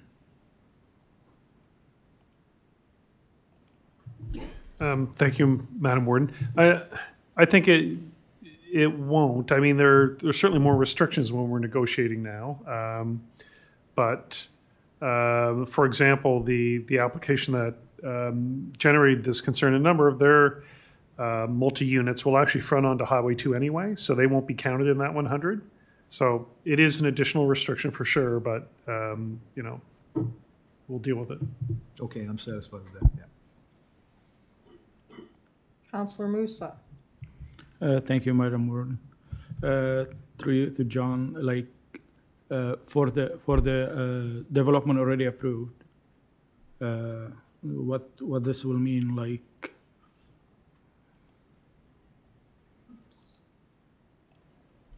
Through you, Madam Warden, again. Um, For development that's already approved, it has no impact. So, for example, in the Clayton um, and the Armco, or yes, Clayton and Armco and the first FH uh, development agreements, um, it's already in those development agreements that uh, I think it's 300 units before they require second access. So that, that's locked in. We, we can't change that now. Um, So we'll follow that development agreement in processing um, uh, applications for subdivision as those move forward. and for that second access, it has to be up to standard, or? I, I know, you know where I'm coming from for, for the development in Mount Uniacke. Yeah. And the second exit is no way near a- any standard. So I think after those fires that happened, we should be, I don't know if we, if- I should know if we can be liable for that, if we, if we don't do anything, don't uh, do anything about it. I think something should be done there, and uh, it's either an access or it's either a logging road. So Um, Madam Warden. Um, So now we're talking about cottage country and the development that's now more than a decade old. Um, In that DA, there was a requirement for a second access, but it didn't have to meet the municipal road standard, which I think is the issue. Uh, There were, there was some wording in the DA that it had to be passable year-round, um, you know, some general language about uh, the type of road it had to be. But I, I have heard that there are some issues with that. Um, but it has been checked by the development officer, and in her opinion, it does meet what was required in the DA. So I don't know which one I'm talking about, but there is one that is blocked all the time by, there, there is like, it's closed, so something happened. So through through you, Madam Warden, it, it shouldn't be. So if that's the case now, then then I guess I don't we know can if take that's the another right look at one. it. I, I don't know, I've seen something over there, but it's like, uh, it, it got that bar that block it and after what happened in Hammonds Plain, Yeah. oh my God. And I don't know if we get, if something happened and people couldn't get out, if we, if we get liable, because it's an agreement that s- a second exit should be. Yeah. I think So- So it should be passable. So that's something we could check. I think, I think we should, it's- it's either passable or stop everything until they- it's passable. Thank you. Deputy Warden. Thank you. Um, For this year, we talk 100 units, and we're talking about, you know, this is, as Councilor Moussa stated, like, you know, it's kind of been spurred on by what happened out in Hammond's Plains. Um, I, I don't think it's the number we should look at. I think, I think there should have been more consultation done, that there should have been talk, talk with fire services and stuff about, about the differences between a built-up area with full services and fire hydrants and the ability to have rapid access to water versus a rural area that doesn't have that. Um, and the proximity. So I can't support this hundred units because I don't think we have enough information, uh, coming from our fire services about what would be the, you know, what, what, what, what- what's the appropriate measure, measure, to fight a fire in a built-up area versus a unserviced area, um, where there is a larger amount of trees. In a built-up area, you're, you know, you're, you don't have as many trees as, as, as before. And that's all I have. Thank you. Counselor Hebb. Thank you, Madam Warden. Oops, sorry, wrong mic. There we go. Um, hundred units, that could be two buildings right on a a major highway like number two. And for the developer to put in a second road, uh, exit, I mean, that could be in the second or third phase. And it, uh, seems to me would, would, would hamper the developer a awful lot by doing that. If, if these buildings were back in a major lot somewhere, I could understand it, but, um, this is gonna be placed no matter where the buildings are, hundred units, so, uh, uh, I don't think I can support that. Thank you. Counselor Garden Cole. Thank you, um, Madam Warden. So 100 units is currently our, has always been our number though, right? It's just been altered through development agreement, is that right? To to you, Madam Ward, um, so the hundred, it's a hundred lots is the standard in our subdivision bylaw, so you can't create more than a hundred lots without a second exit. When we were negotiating these development agreements for large communities with a mixture of, of single, semis, townhouse, and multi-units, um, we recognize that, you know, hundred lots could actually get you hundreds and hundreds of dwelling units, so we set the number at three hundred. Um, so i- i- it was, you know, it's a bit of apples and oranges. It's not the same thing as the hundred in the. Okay, so let's bylaw. say um, the, the subdivision by the Elmsdale Mill. Like, I'm thinking 100 lots in there before a second, although I know that didn't work out like that, but 100 lots in there before a second exit. Um, Whereas this would be, for example, an apartment building that had 72, an apartment building and a half would end up being, but if they're right on the road, then that's Yeah. not considered the same thing, right? If they're road frontage. Yeah, through, through you, Madam Ward, the way we intended to draft the DA would be that if they, if they actually have direct access to Highway two, we wouldn't count them. It's only those on any new streets that are created into the, the new development, we would add up the hundred there, not, not anything directly fronting on Highway two. Okay, okay, thank you.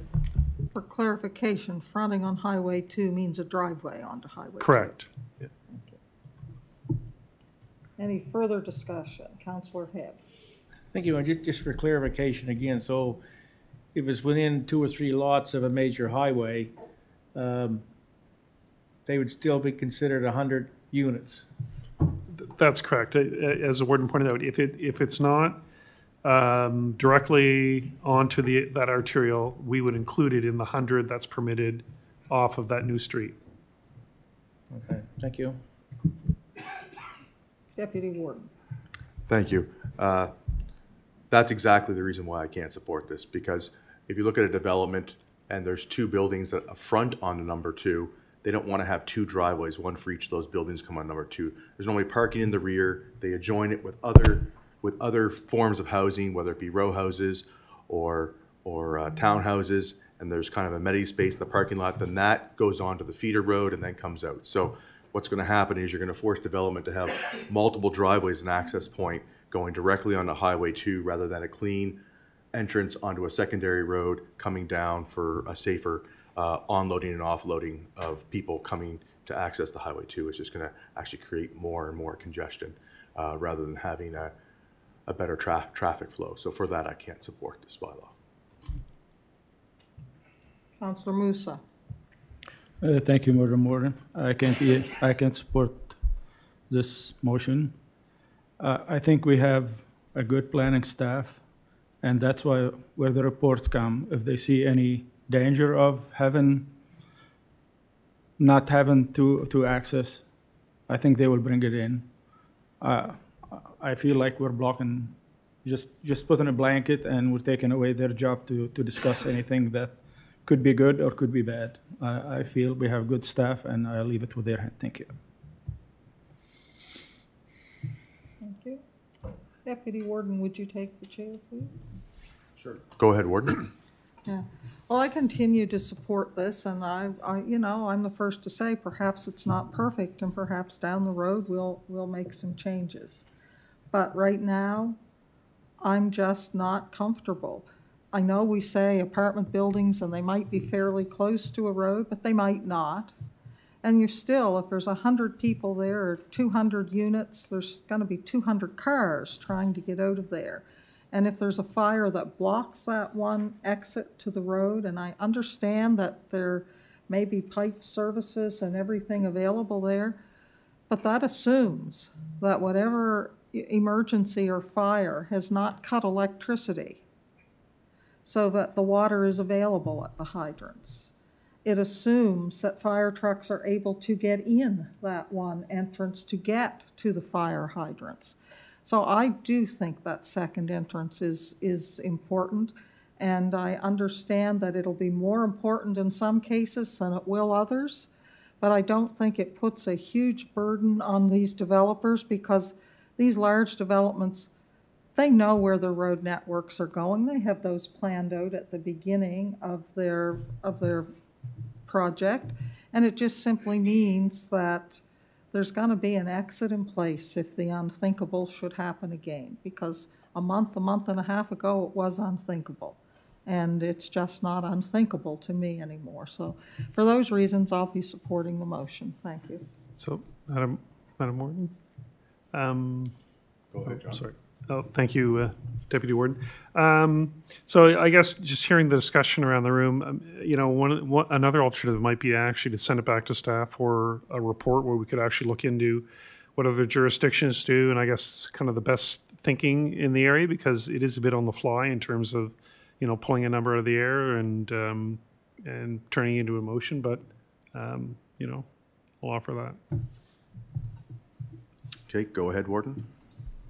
But that would allow this particular development, that would allow a negotiation while we wait for a report to once again go to, you know, maybe three hundred units before a second exit. And, you know, maybe I'm the only one here, but to me, I, I still see in my mind's eye those videos of people trying to get out. And safety trumps it all for me, and uh, that's how, I'm going to vote my conscience on this one, and that's just how it is. Thank you. Thank you, Warden. So I'll turn the chair back over to you where there's a motion on the floor. Any further discussion on the motion?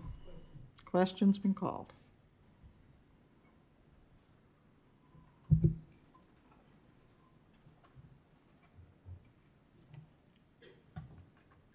And the motion has passed by a vote of seven to three with uh, Deputy Warden, Counselor Hebb, and Counselor Isenor voting nay.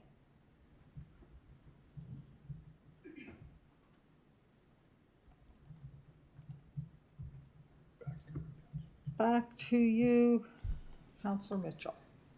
The Planning Advisory Committee recommends to council that council give first reading to an application from FH Development Group, Inc. to amend the MPS and LUB by changing the land use designation and zone uh, P, uh, PID four five zero eight nine eight zero two to Walkable Comprehensive Development District, WCDD, and give initial consideration entering into a development agreement to permit a mixed-use master plan development. As chair of the committee, I so move. Seconded by Counselor Tingley. Is there any discussion on the motion? Question's been called.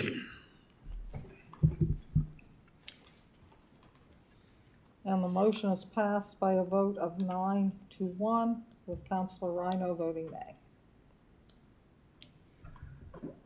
bylaw P thirteen hundred blasting bylaw. A draft blasting bylaw was presented to committee for consideration. The bylaw is similar to the H, to a- the HRM bylaw and has been written so that responsibility for checking compliance rests with the applicant blaster qualified monitor due to the lack of resource to administer the bylaw.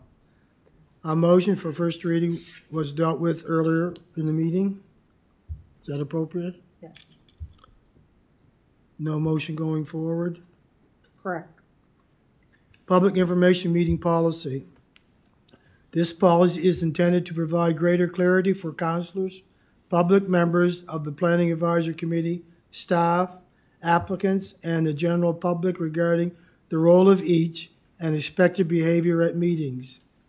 The Planning Advisory Committee recommends to council, the council approve the public information meeting policy as attached to executive, executive committee agenda dated June 20, 2023. As chair of the committee, I so move. Seconded by Counselor Moussa. Is there any discussion on the motion? Question's been called.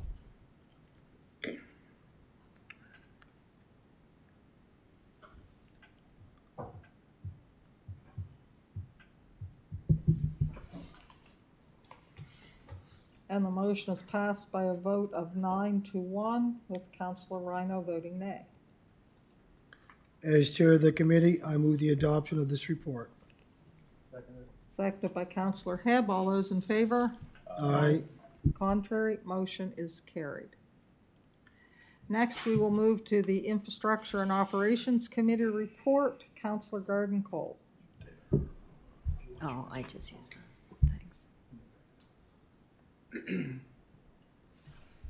Can I get that one bigger, Shirley? Thank, that's good. The committee held its regular meeting on June twentieth, twenty twenty-three in council chambers. There is one motion coming forward as a result of that meeting. First motion, or first, first item is Gosbridge Safety Street Light. In December 2021, council approved moving forward with the installation of a safety light near Gosbridge. Inadequate wiring at the intended location led to a technical site review by Nova Scotia Power and quote to install the light. As this light is in an unserviced area as defined by the street lighting policy, the cost will be funded from the general tax rate. Total cost for supply and installation was quoted at $4,378 before tax.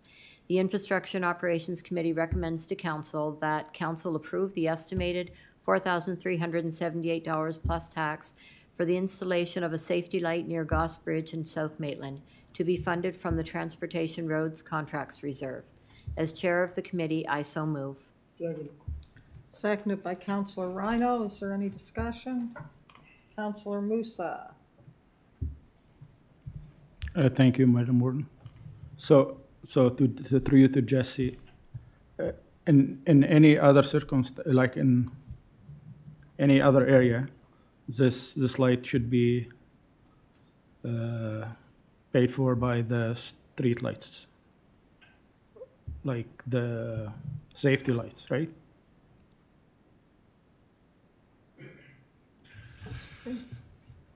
Through Madam Warden, this this topic is really meant the the concept of safety lights is is intended as just a very unique circumstance um, that council's used on two other occasions, and this would be the third. Um, overall, the intent of the streetlight policy is to capture street lighting zones and pavement catchments, and there's been a few exceptions where where there were lights in areas that were never forecasted to be lit up, if you will. But there's a few areas of, of major concern that needed to be de- dealt with. And so this is the third of such instance to come up and be presented to council. Um, that's where it would fall in. So the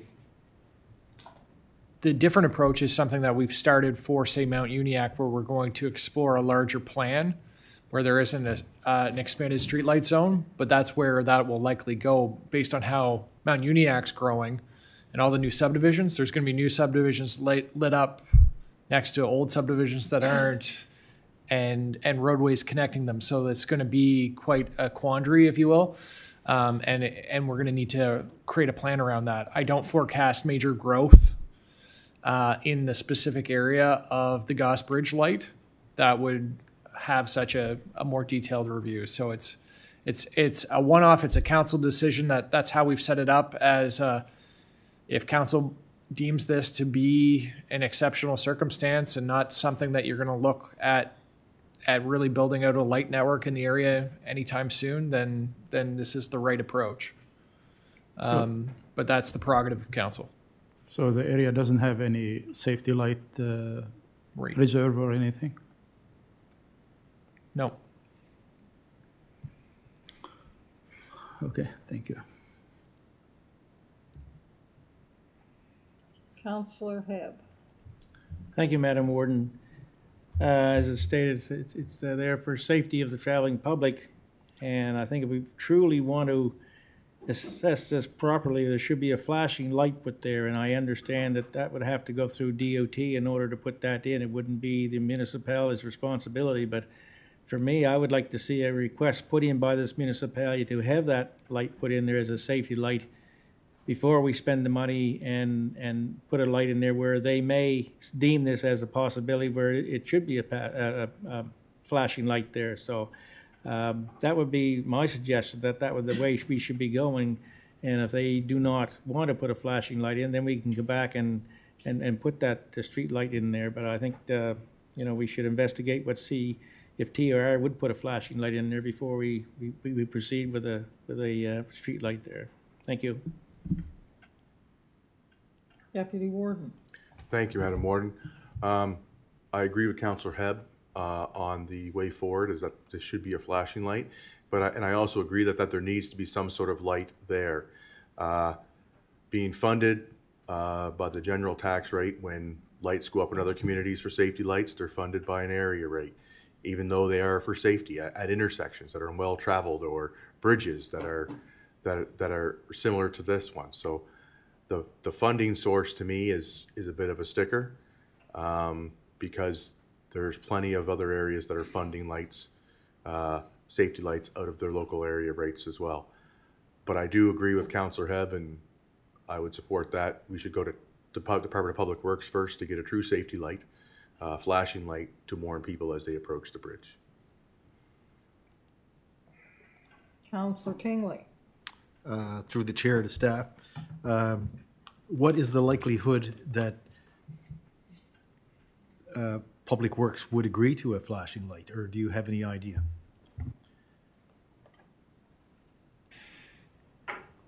through Madam Warden.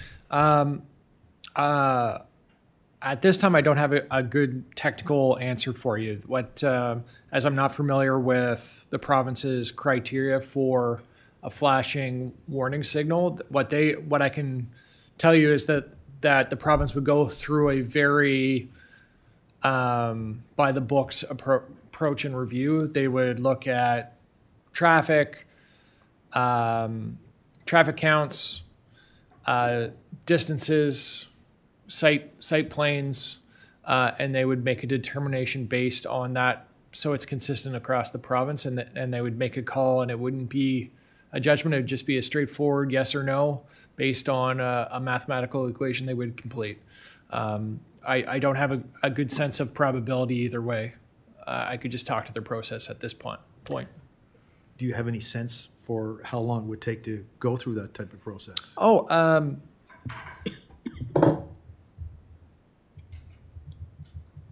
through Madam Warden, the the the length of time if a request goes in, it really depends on on um, availability of provincial staff. I'd be sh- I, honestly, I'd be shocked if it took longer than three months, um, based on historic responses. We've done uh, requests for technical reviews of intersections, and the way that that they are looked at from a technical perspective, they, they deploy their team rather quickly to do that and set up counts, and it's part of their ongoing operating expense to do that type of work. So I don't think it'd be a lengthy uh, process to to have that request go through. Okay, that's it. Counselor Garden Cole. Thank you, Madam Warden.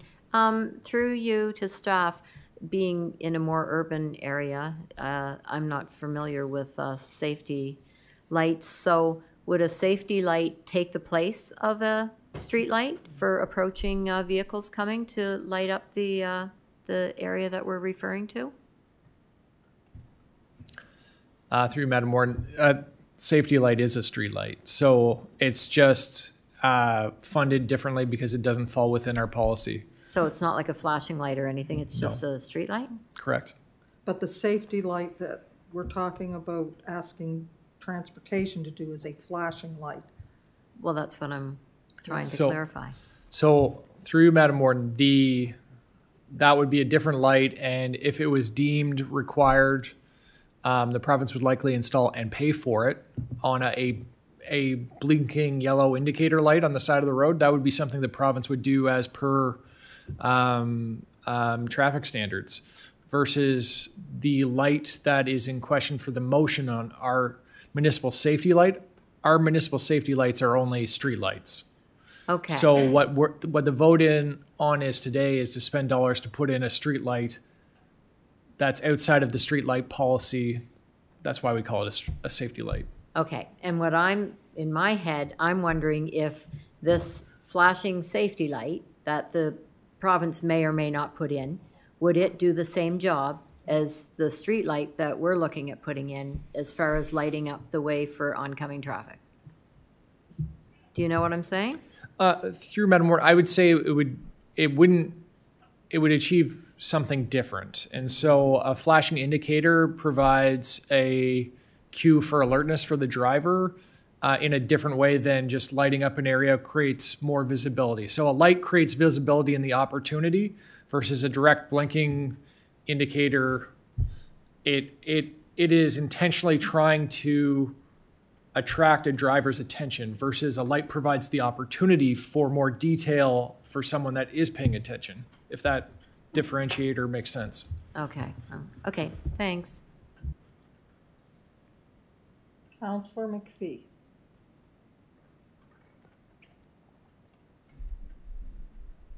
I'm trying.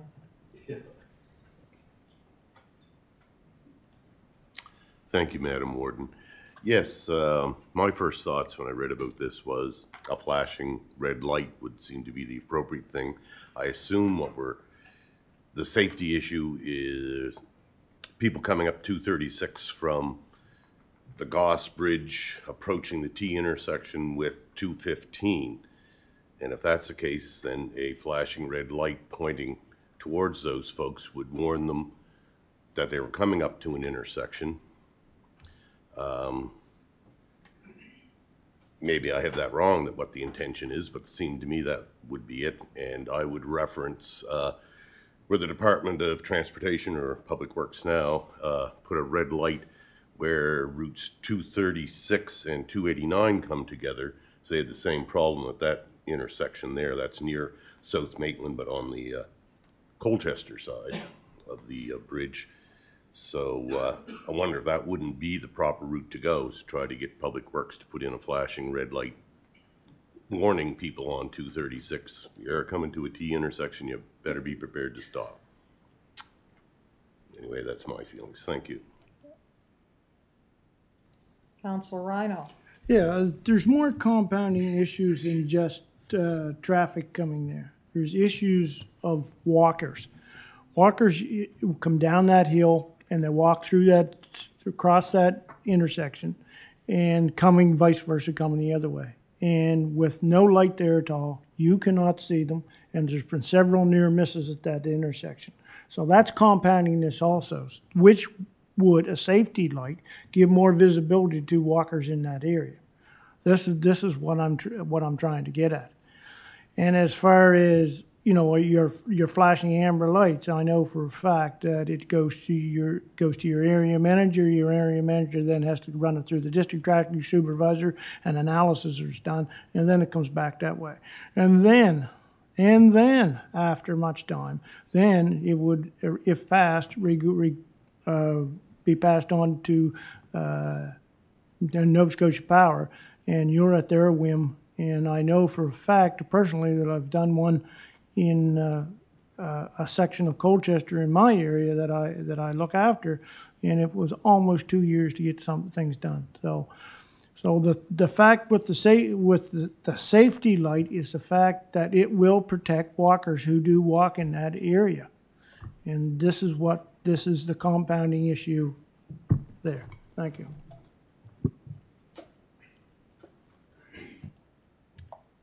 Deputy Warden.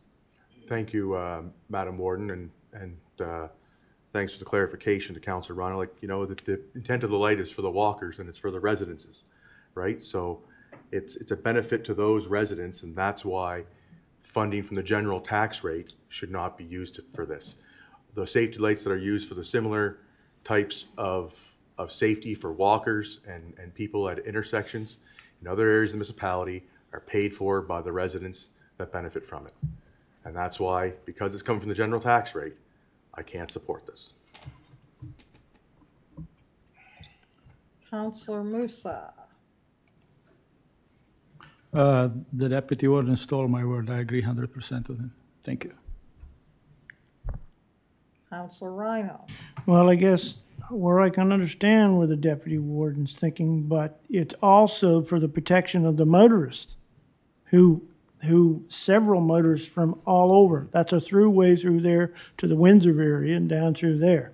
It does, will, would protect anybody walking in the area, but it also protects the motoring public from striking anybody in that area or, or would go towards that. Because you, even a light will not guarantee that this will go on. But uh, uh, that's, uh, that's what we're, what we're trying to accomplish here in this area. And then it would have added benefit of, of adding, lighting up that intersection uh, totally and giving more help to the motoring public uh, that way also. Thank you. Counselor Hebb. Thank you, Madam Warden. I think everybody's been by the cheese factory corner, and there's two lights there, one red and one amber. One amber one is coming from West Union Road, the red one comes from Kennetcook Way. Down on South Rawdon, there's a four-way, four roads come, or two roads come on to two, or fourteen. There's a flashing yellow one there. Having a street light there for walkers, I can understand that. I, I, I understand where that's coming from. But as Councilor Rhyno just, just said, that it, it's also for the traveling public. If you're coming from the Goss Bridge down there and you're not familiar with the road, um, there's not too much to stop you there but a guardrail. And if you're walking, you're very visible to see the cars coming one way or another. So you, as a walker, you can make your decision whether you want to walk across or not. But if you're driving a car or any kind of a vehicle come down there and you're not familiar with the road, you definitely get right across. There's a guardrail and there's a big bank with water on the other side. So, um, yeah, I, I think a flashing light is no doubt the best thing. Uh, but a street light is not going to alleviate the traffic problem. It's only going to alleviate maybe the help with, the- with the walkers there. So I think by putting a flashing light there would, would be more beneficial to the walkers and the traveling public too. So, thank you. Counselor Rhyno. Uh, I just want to point out that I seen this no different than what we approved for Kennetcook there, other than they have to run a little bit more wire. The, I think the, the one in Kennetcook went at the 236, uh, 354 intersection there with the same, pretty near the same uh, idea, a T intersection, right? And, it- and, and it, it was approved. So I just wanted to point that out. Thank you. Okay, counselors, I have no one left to speak. We do have a motion on the floor. The choices are to vote on the motion that stands on the floor. We've heard discussion about a different kind of light by the province. We could move to table the motion that's on the floor. And uh, after either one of those is done, whether we vote on this motion or we table it, we could then have a motion to um, request a flashing light, if that was the will of council, at that location. So I leave it up to you, council. Uh, What is your wish? Do you wish to call for the question or to table, or what do you wish to do? The question on the motion has been called.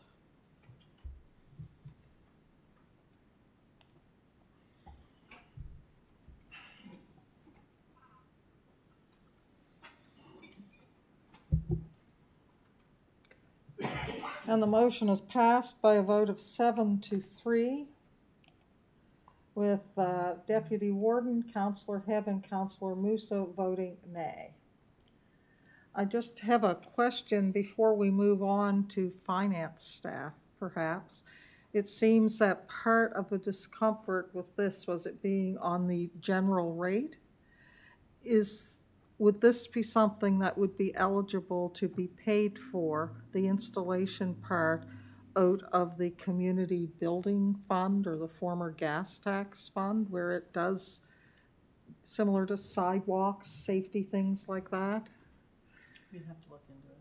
Yeah, I mean, I would have, we do have what was previously known as gas tax money, and I, I wouldn't have an objection to the slightly under five thousand dollars coming out of the rural gas tax, if that would alleviate some of the concern for council if it were an eligible project, so I just throw that out there, maybe staff could look into that. Let's use gas tax for, We have, that's what we have to use for all of our lands. Yeah. We have to use Yeah. gas tax. it is eligible. So it is eligible. So, um, okay, Counselor, the motion has passed as it is on the general rate, but Counselor Moussa. Yeah, I was gonna say that we always use the general tax rate for our safety light, so. That should General gas tax. Yeah, the gas tax, yeah. So as the motion is passed, it's on the general rate. I just leave it out there if any counselor wanted to make a motion to take it out of the uh, rural gas tax reserves, um, that could be done. Deputy Warden?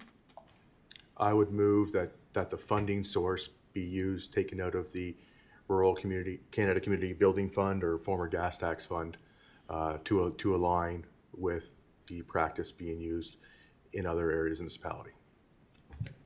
Seconded by Counselor Moussa. Counselor Rhyno. Well, I don't have a problem with, it. we're coming to the rural gas tax fund, but I, I, I guess could, we just passed a motion that it went through the, through, uh, uh, the general rate. And it's just, I don't know if that, This know, motion simply changes that direction in the first motion. I with guess I, regards I would ask if, if, if, if that's procedurally correct, to just pass a motion on the general rate and then turn around and then put it onto an, another, uh, another rate. And along with that, what would happen to the one that's previously already in Kennetcook and then I think there's another one apparently from what I read in the report in Maitland and I'm not aware of where that was, so. Well, I think this motion simply refers to the cost of installation of this one, and I Mhm. think the consternation was because it was a higher cost than the other ones. Uh, I would think it would be in order, it would be simply like any other motion that was made to do any project, and council has the ability to change the source of funding at any time. So I would, So I guess then where would, uh, uh, the installation aside, where would the general funding come from, out of the general rate to, out of the roads and, and thing to, uh, operate the, uh, the, the said light? uh, CAO can answer that. Through you, Madam Warden, the current structure we have in place for the two lights that already exist, it is funded through the roads cost center on the general tax rate. Uh, the operating costs for those street lights are very minimal on a monthly basis. It's a few Mhm. dollars a month, so um, it would be funded through the general tax rate because we don't have another method to fund it.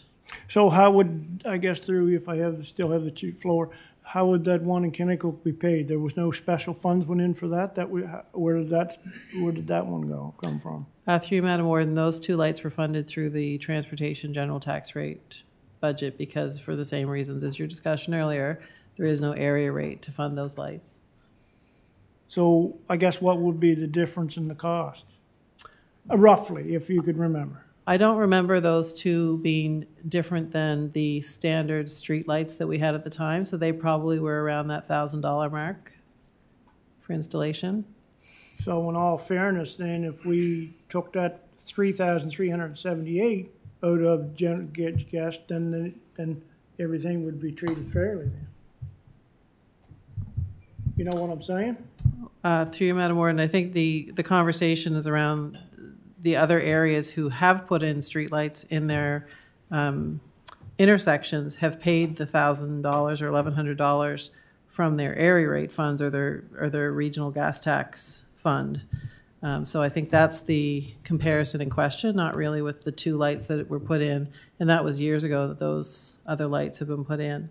Um, To Well, my I- mind, the, the comparison being drawn to is between the intersections at major intersections through Mount Uniacke, for example, have the area rate or gas taxes paid for the installation of those lights. Well, what about the one in Kennetcook? Because that, that was borne by the general rate, correct? That was, and it, um, through you, Madam Warden, it may have, it was years ago that that light was put in. Um, I'm not even sure there was a pot for rural gas tax at the time.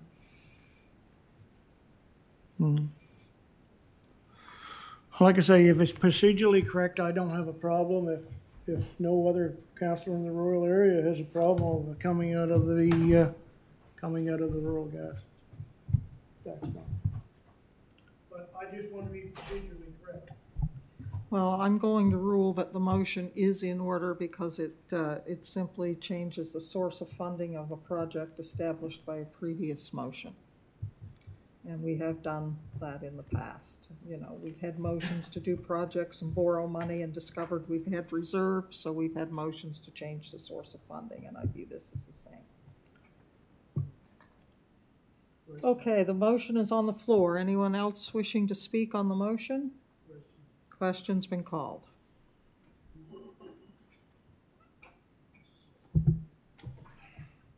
And the motion is passed unanimously. As chair of the committee, I move the adoption of this report. Moved and seconded, all those in favor? Contrary, motion is carried. We will now move on to Parks, Recreation, and Culture Committee. Over to you, Counselor Rhyno. Committee held its regular meeting June the twentieth, twenty twenty-three in council chambers. The following motions are coming forward as a result of that meeting. Shubenacadie Ball Field Softball Agreement. East Hants Minor Softball Association has requested to use the ball field for practices and games for the remainder of the twenty twenty-three season as per council, uh, season. As per council motion, this request is coming forward to council for decision. So from that, the Parks and Recreation and Culture Committee recommends that council give the CAO direction to enter into a usage agreement with the East Hants Minor Softball for use of the ball field at the Shubenacadie River Park. As chair of the committee, I do so move. Moved and seconded, is there any discussion on the motion? Question's been called.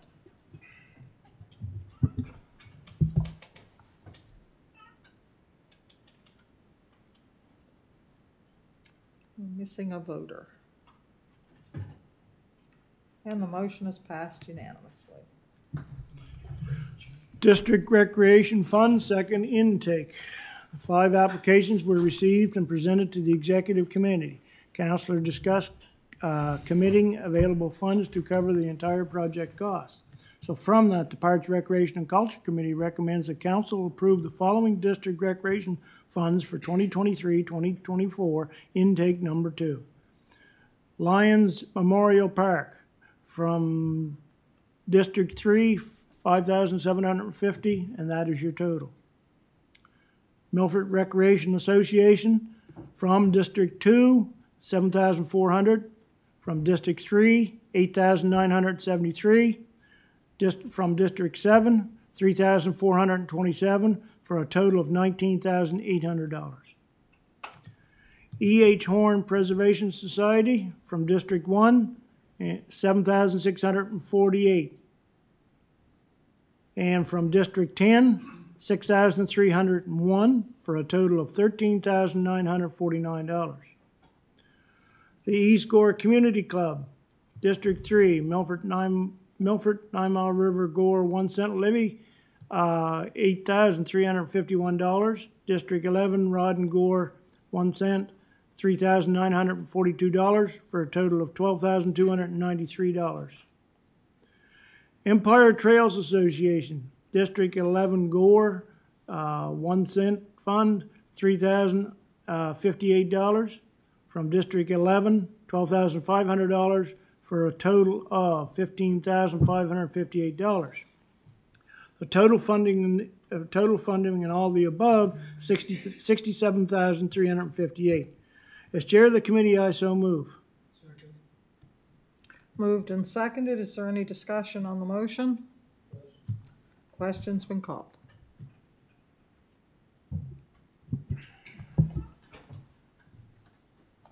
And the motion is passed unanimously.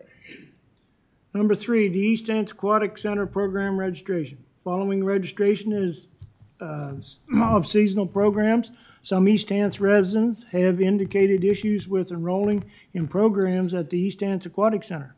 Some residents feel that there should be a priority registration for East Hants residents. Others that feel a facility membership holder should have priority registration. Staff presented an analysis of the number of East Hants residents in aquatic programs versus residents outside, outside the municipality, as well as the results of jurisdictional scan on priority registration models in Nova Scotia and across Canada. Committee members discussed the pros and cons of the priority registration. So from all that discussion, the Parks, Recreation, and Culture Committee recommends that council maintains the current registration model of for aquatics and recreational programs that does not prioritize registration for East Hants residents or membership holders at the East Hants Aquatic Center. As chair of the committee, I do so move. We have a seconder? Seconded by Councillor Moussa. Discussion on the motion, Councillor Garden Cole. Uh, Thank you, Madam Warden. Um, Yeah, I just want to say I won't be supporting this. I was disappointed that um, we weren't able to look into, uh, not necessarily uh, cutting off, you know, or having a, uh, a registration open to um, our residents first and then residents outside the municipality, but maybe looking into some way that we could accommodate people closer to our um, municipality. When you look at, I think 52% of registrants for uh, swimming lessons outside of the municipality, um, it's understandable that residents would, would uh, be concerned about that. I know just from personal experience with chatting with people um, beside me over the last number of years that uh, were from Bedford or Sackville in particular and came to our facility for no other reason than that they just wanted to come to the new facility. They were literally driving past facilities very close to them in order to drive out two hours. So I was hoping that maybe we could look into, you know, accommodating people within so many kilometers of the border, that kind of thing. So um, just just uh, disappointed that we weren't able to, you, you know, look outside the box and, and come up with something that would be a little bit more acceptable to our residents. Thank you. Any further discussion? Question's been called.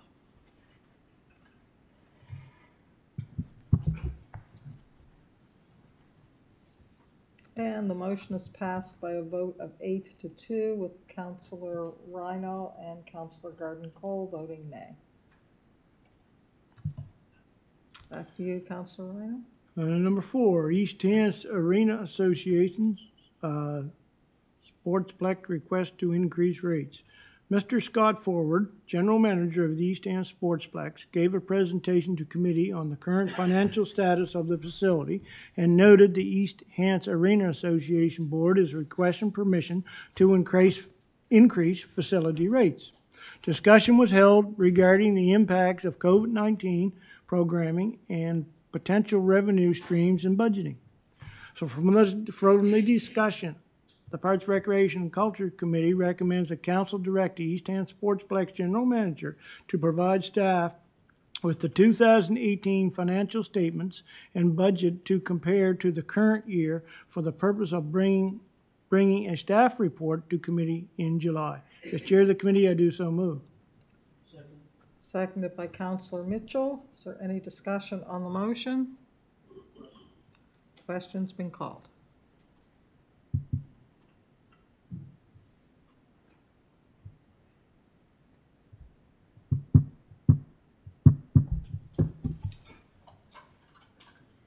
And the motion is passed unanimously. Back to you. And number five, Shuby River Ball Park Ball Field. The Parks, Recreation, and Culture Committee recommend the council move forward with outfitting the Shubenacadie River Park Ball Field with outlets to provide power for community events, installation which to be paid for from the Shubenacadie Recreation Fund Reserve. As chair, uh, as chair of the committee, I move the adopt, no, I so move. Yeah, this motion would be redundant because we've already approved that at the policy meeting, if you read the next part, so.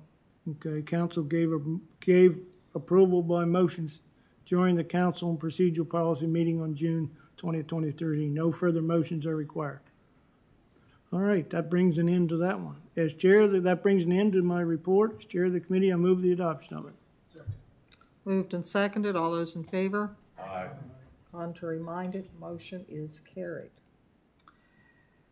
We now go to the Fire Advisory Committee. Uh, Counselor Green is uh, at the graduation at Hants North. Who is the deputy chair of that committee? Counselor Mitchell. I have the report here. Do you have a copy of it? Yeah. I'll read down the screen. Okay. Go ahead. Fire Advisory Committee. Whoops, let me turn your mic on, Counselor, sorry. Go ahead. Fire Advisory Committee report to Municipal Council. The Committee held its regular meeting on June first, twenty twenty-three. The following motions are coming forward as a result of that meeting. Number one, Fire Department re-registration. Registration forms have been received from all departments, including servicing East Hants, and the staff review confirmed all departments are compliant with the requirements. Committee members had no concerns about any of the registrations.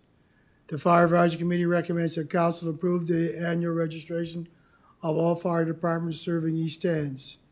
As chair of the committee, I so move. Seconded. It's been moved and seconded. Is there any discussion? Question. Question's been called.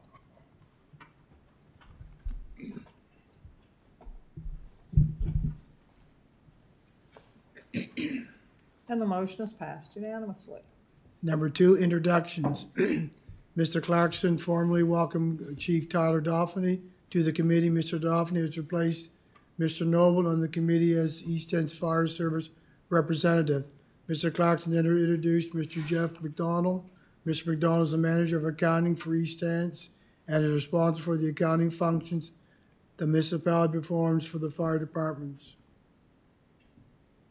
Number three, municipal long service medal. Chief Darby, Uniacke Fire Department requested the committee consider adding a section to the annual registration form that would allow chiefs to include the names of those in their department that will be eligible for a long service award in the coming year. This would eliminate a separate process for collecting that information. The committee agreed with the suggestion. The Fire Advisory Committee recommends that council approve a change to the registration form to include a section for the chief to list the names of members eligible for a long service award in the coming year. As chair of the committee, I so move. Moved and seconded. Is there any discussion on the motion? Question's been called.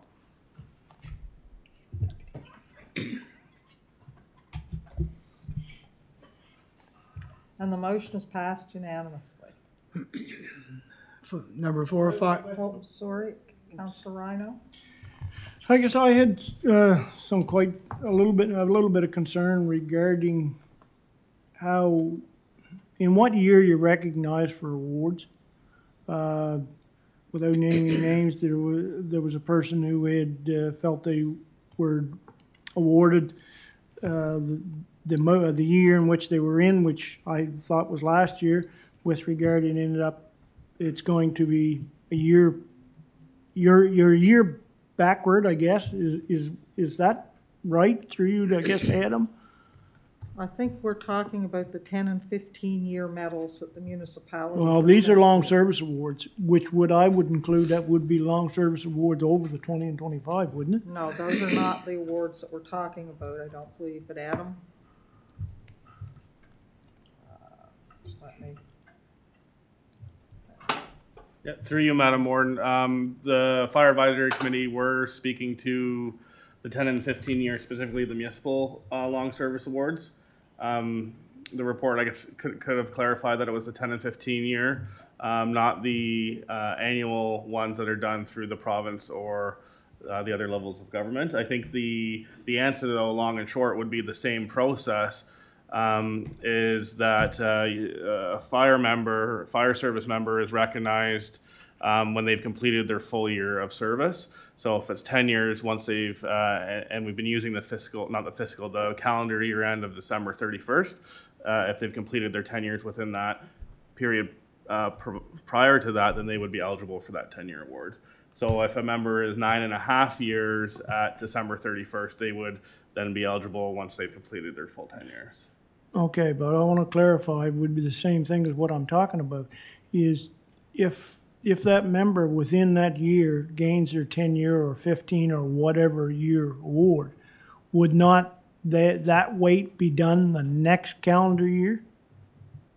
You would have ten to fifteen full years of service? Correct.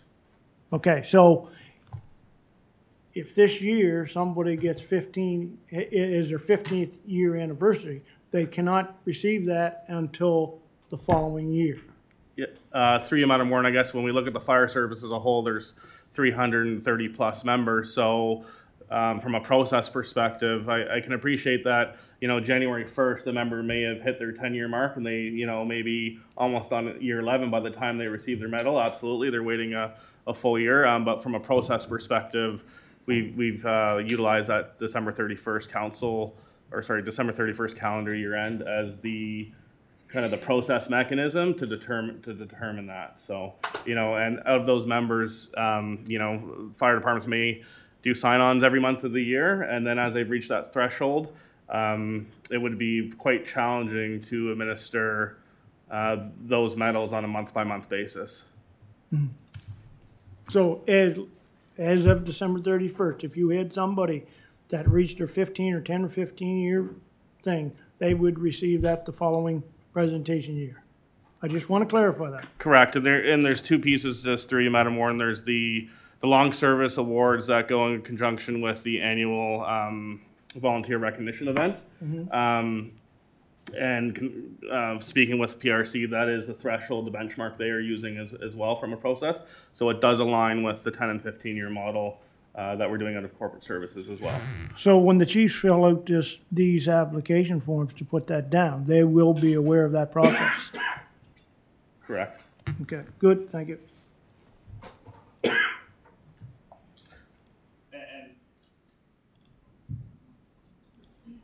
Uh, three Madam Warren, I'll just, I'll just add, I think maybe there was a, a hiccup a few years ago where maybe a member was in mid, mid-year that received it before they had hit the, the threshold. So I, I can see where maybe the, the question's, uh, coming from, but I think we have a really good process established at a staff level.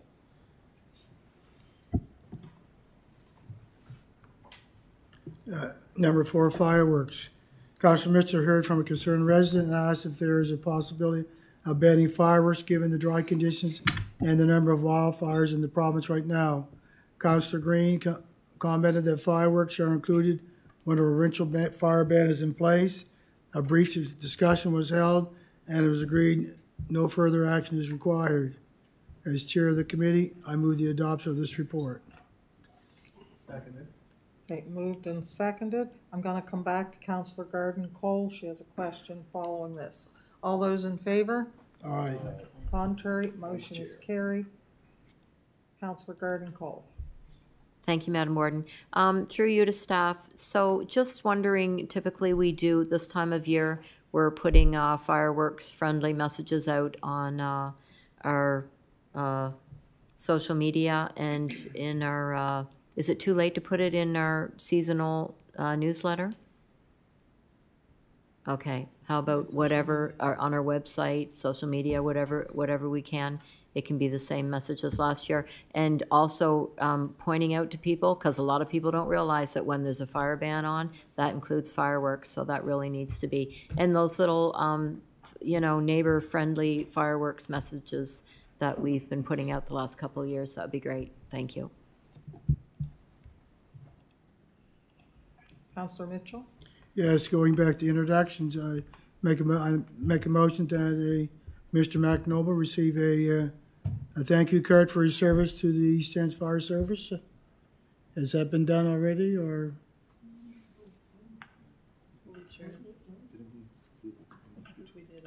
We Okay. think we did, but we're not sure, and we'll check into it, and if we Okay, didn't, we'll- just, uh, I appreciate that, thank you, I'll leave it with you. Counselor Head. Yeah, Madam Chair, I think we sent a, a letter of thank you from the Police Advisory Board, but I don't think we did. He wasn't on police advisory. Or, excuse, me, the, the Fire Advisory Board, uh, but I don't think we did from the Long Service Award. I think, uh, I think Counselor Mitchell was simply looking for a thank you letter to Mr. Noble for his years of service on the, um, yeah, Fire advisory. On the Fire Advisory. Oh, I Yeah. thought you said on the, the oh. Fire Service Committee.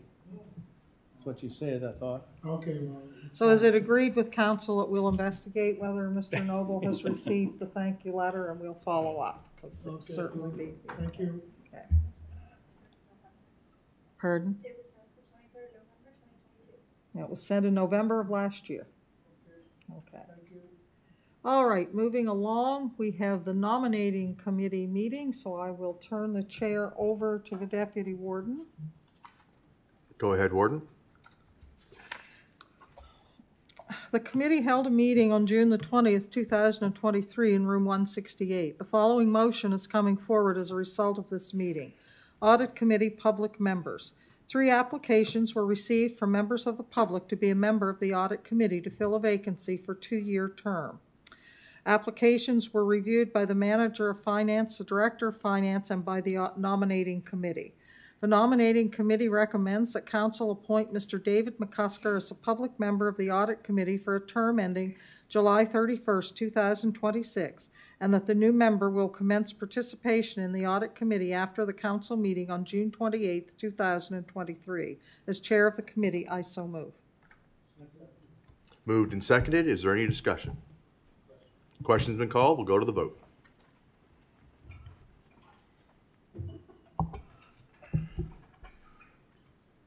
And the votes are in, and it's passed unanimously.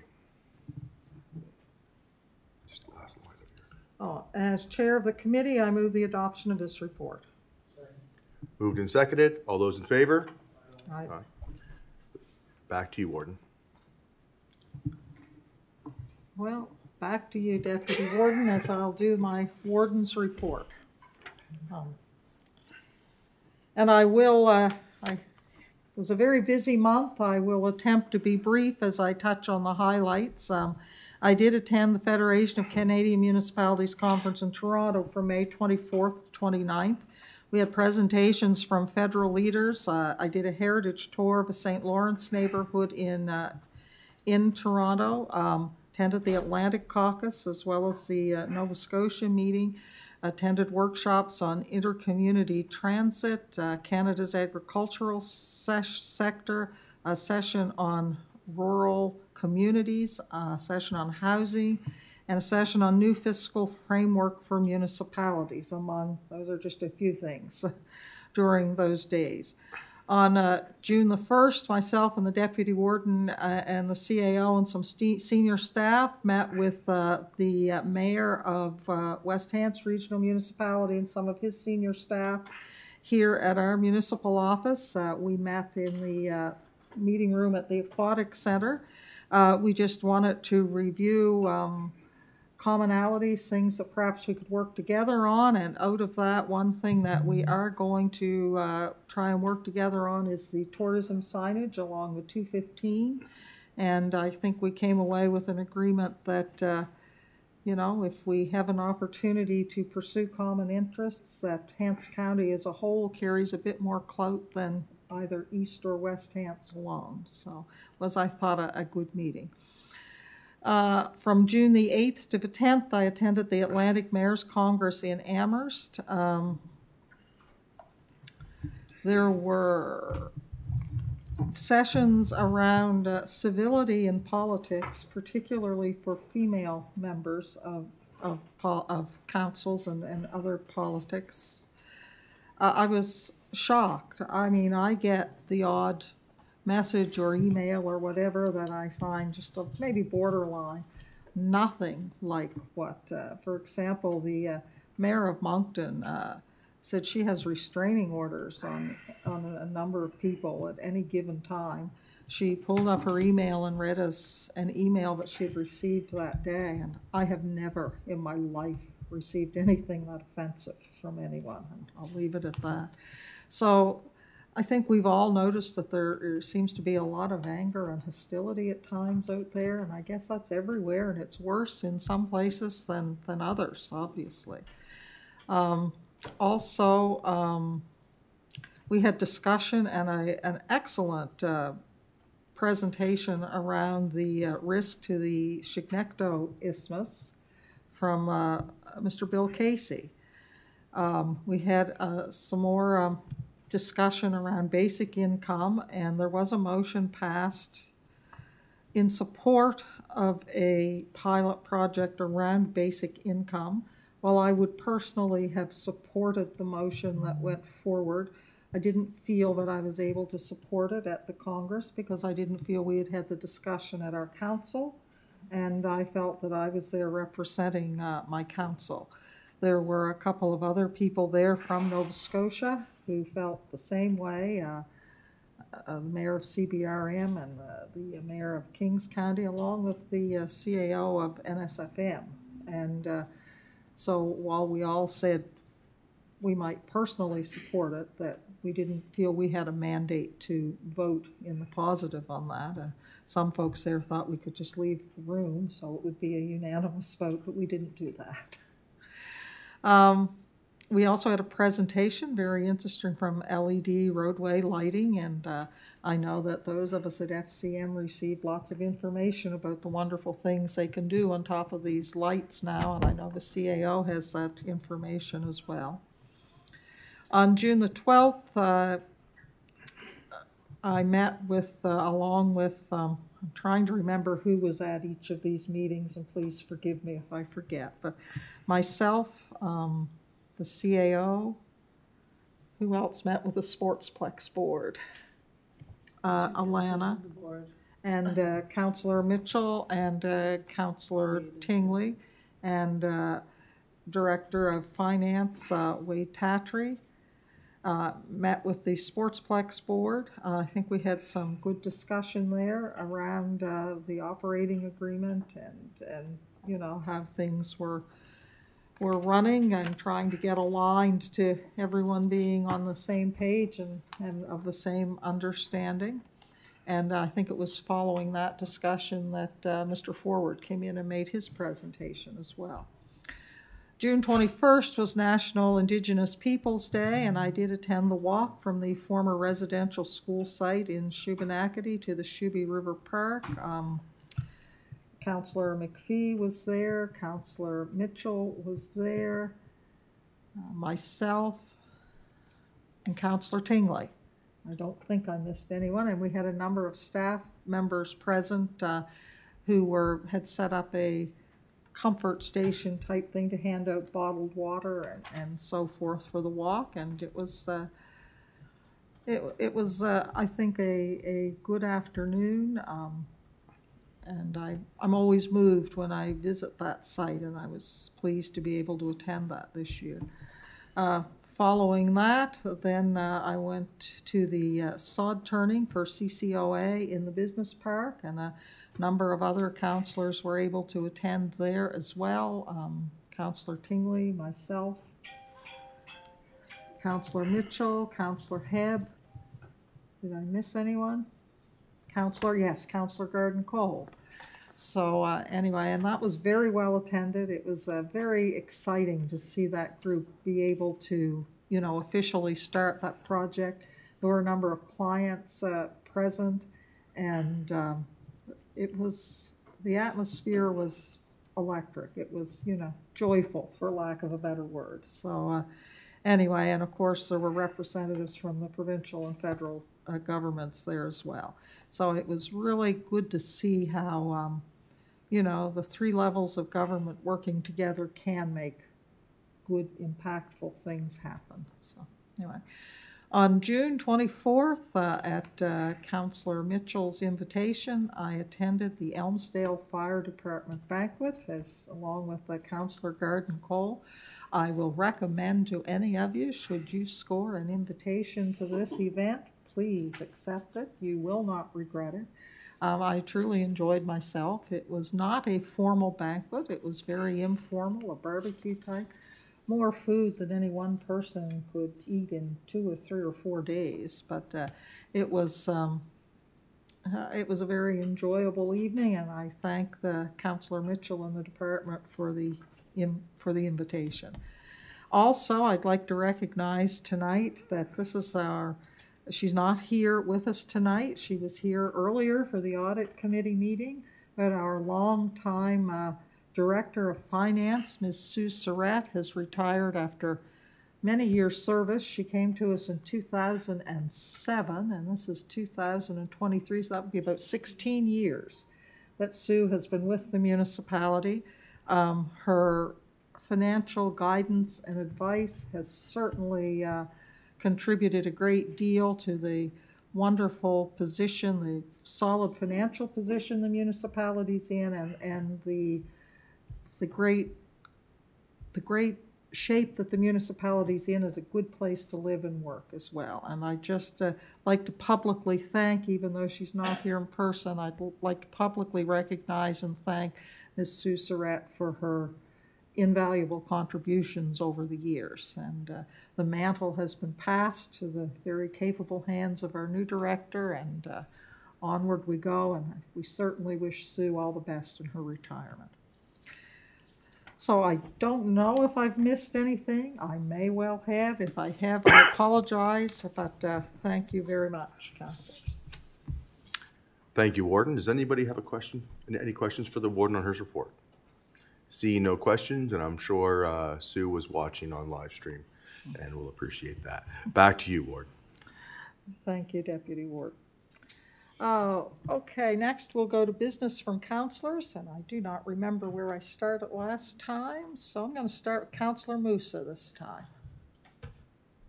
No, I'm going to start with Counselor Moussa and go that way. I like to shake things up once in a while. That was a surprise. Thank you, Madam Warden. Uh, I have, uh, first I start with Jesse.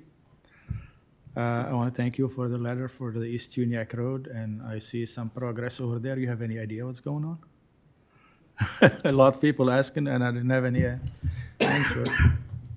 Uh, through Madam Warden, I, I had heard there'd been some survey stakes out and some markings on roads, but I don't have a direct update. Uh, we did we did reach out. I haven't been able to connect to Public Works to find out what is exactly going on, but uh, I'll continue to f- to look into that. But uh, uh, any up upgrades to uh, road structures in the area would be greatly beneficial. Yeah. Uh, Thank you. I think that's it for now. Thanks. So we've temporarily lost Counselor Tingley, so we'll come back to him. We will move Counselor Rhyno. Thank you, Madam Warden. Uh, This past weekend, I had the pleasure of presenting two certificates, one to Mr. Frank Dixon from Upper Kennetcook on uh, his uh, attainment of his 90th year. Uh, party was held. Uh, um, I didn't make the party, but I did uh, catch up to him for his med, for his certificate presentation. Also, I attended Sunday, an 80th birthday for uh, Mrs. Claire Tanner, who resides in Maitland, and uh, there was a turnout at the fire hall and well received. Uh, I think it was late last fall or late last summer, I asked that the monument there uh, for the Heritage uh, District be cleaned. I wonder, uh, has that ever been uh, attempted to, to be done, or is it in the works, or uh, how far out are we? Um, Through Madam Warden, I- I'm not aware that we ever have, uh, but we can certainly look into it. Yeah, I did bring that up from business from counselors, and then uh, it was uh, that I had a, uh, from a former counselor who brought it to my attention that uh, the stone is getting pretty shabby, and I was, I was thought, it- I was addressed at that time that it would be taken care of probably in this year, so it must have got forgotten. So if we could have, have that cleaned up, it would be much appreciated. And also, uh, with regard to um, uh, the past fires that have taken place in the Tantallon area, uh, and the dry conditions that there was there, and, and the ones in Shelburne that uh, took place, they were substantial losses in, in, in both communities, in both fires. But I guess uh, I want to bring to everyone's attention that uh, the past Fiona storm passed that blew a number of trees down in District, District Five. And a lot of the times they were blocking the road and, and they had to be cut. Well, what still remains in the uh, DOT right-of-way are many trees and they're all crisscrossed over each other and in two locations that, uh, uh, that come to mind. And with, and they are drying out now. And with the uh, conditions, uh, you know, with summer conditions, I know it's wet. We're going through a little wet period now. But when summer comes back again, uh, we could be uh, in the uh, same position of, of a wildfire if some of these trees don't get cleaned up out of the right of way.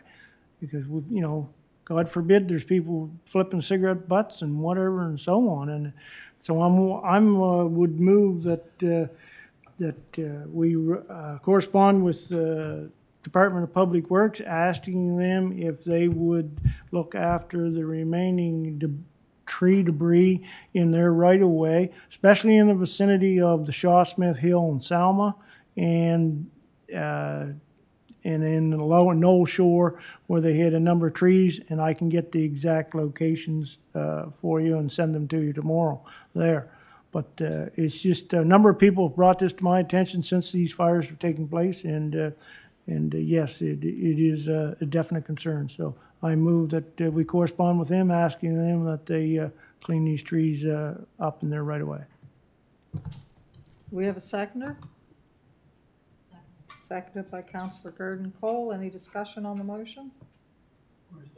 Questions been called?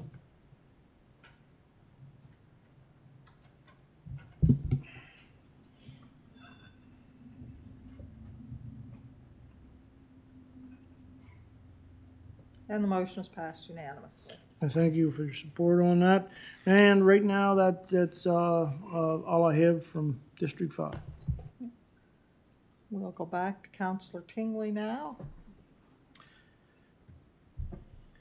Uh, I'm, I've attended eight events in the past month, but I'm not going to go through all this. Um, I just basically have a motion I'd like to make tonight.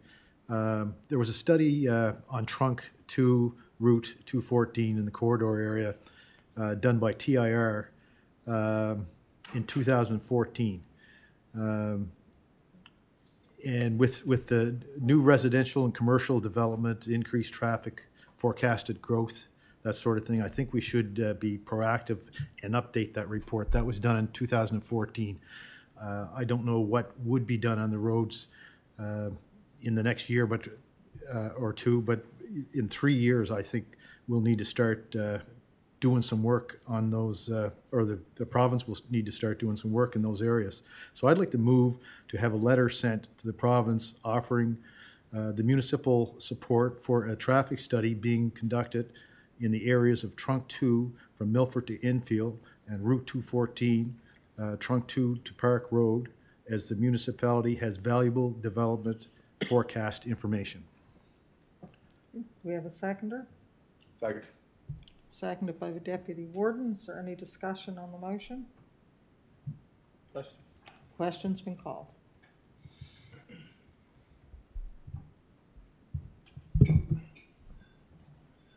And the motion is passed unanimously. Anything further, Counselor Tingley? That's it. Counselor Garden Cole. Thank you, Madam Warden. Um, On May 27th, I attended the Enfield Elmsdale Lions Club 50th Anniversary uh, Banquet. Um, It was a a good turnout, and they had several original members from the 1970s, which was uh, very inspiring.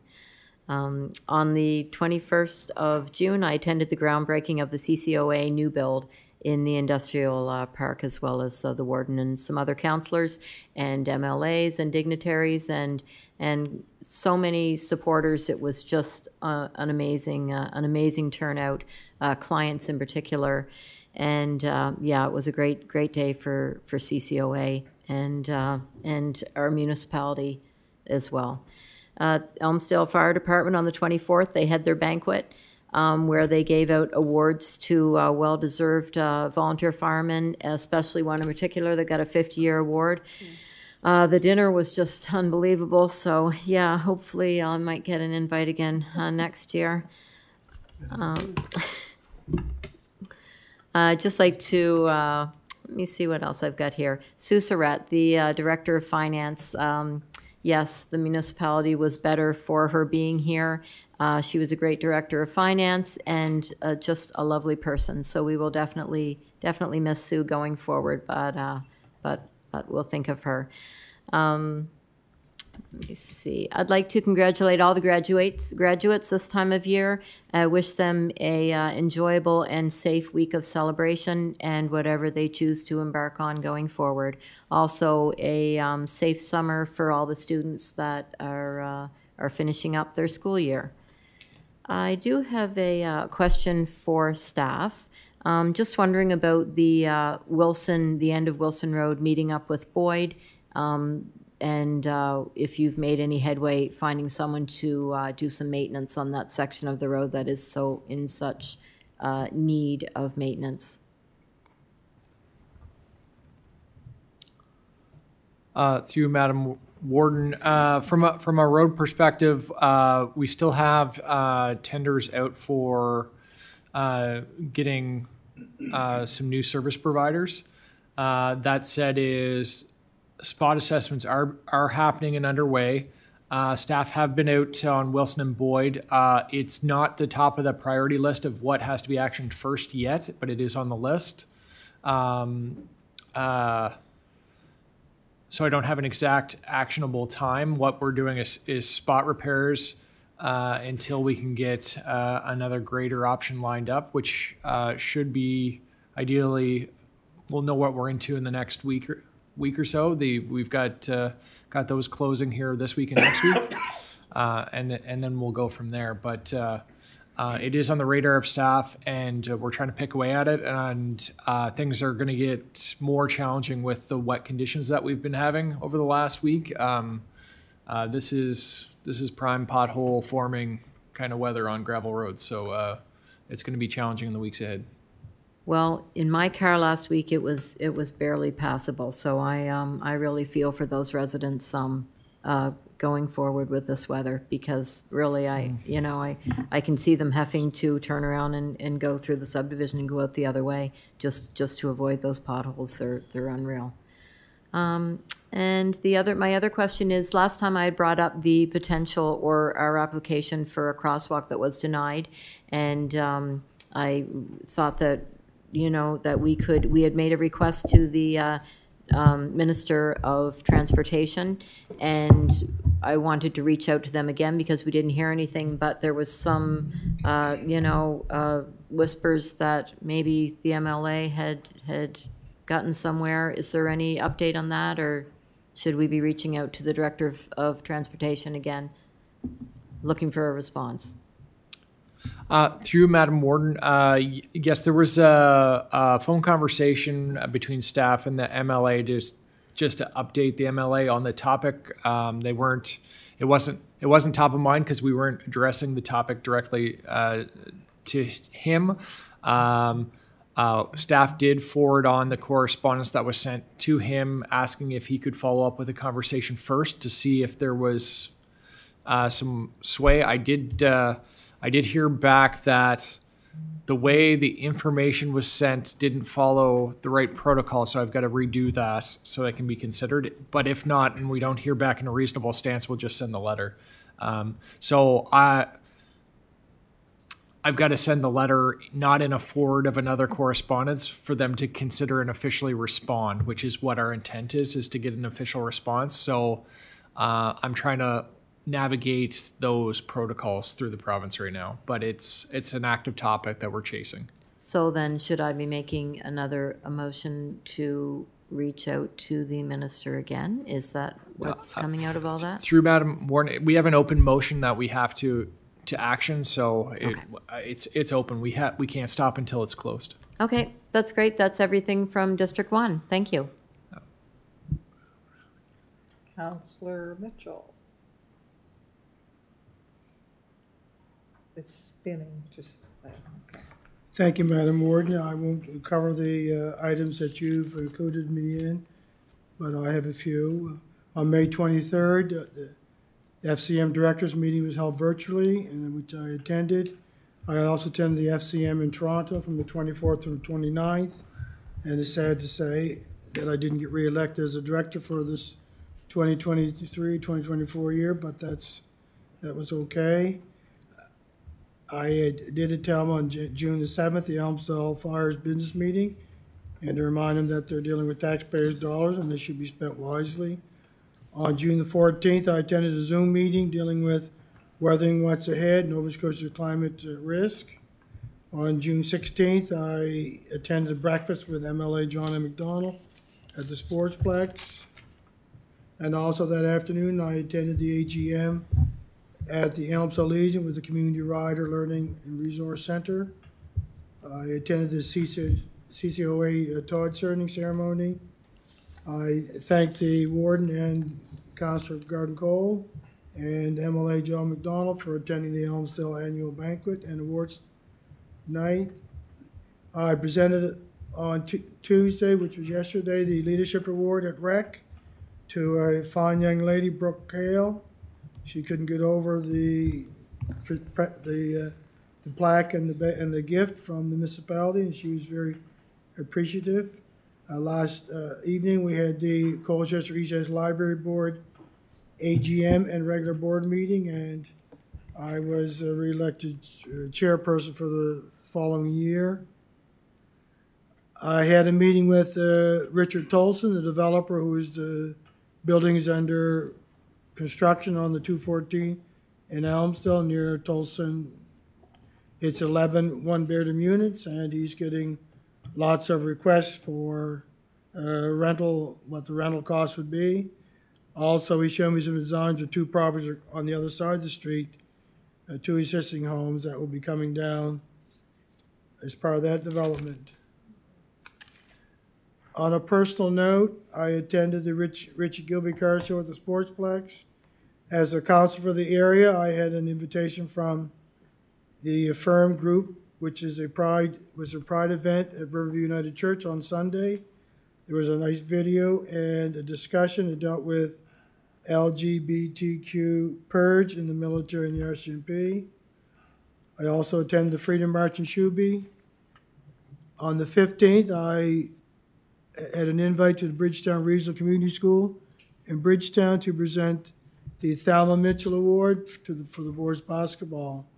And on the 26th, the last note is COVID-19 testing and vaccination at Elmsdale Legion, in which I got my booster.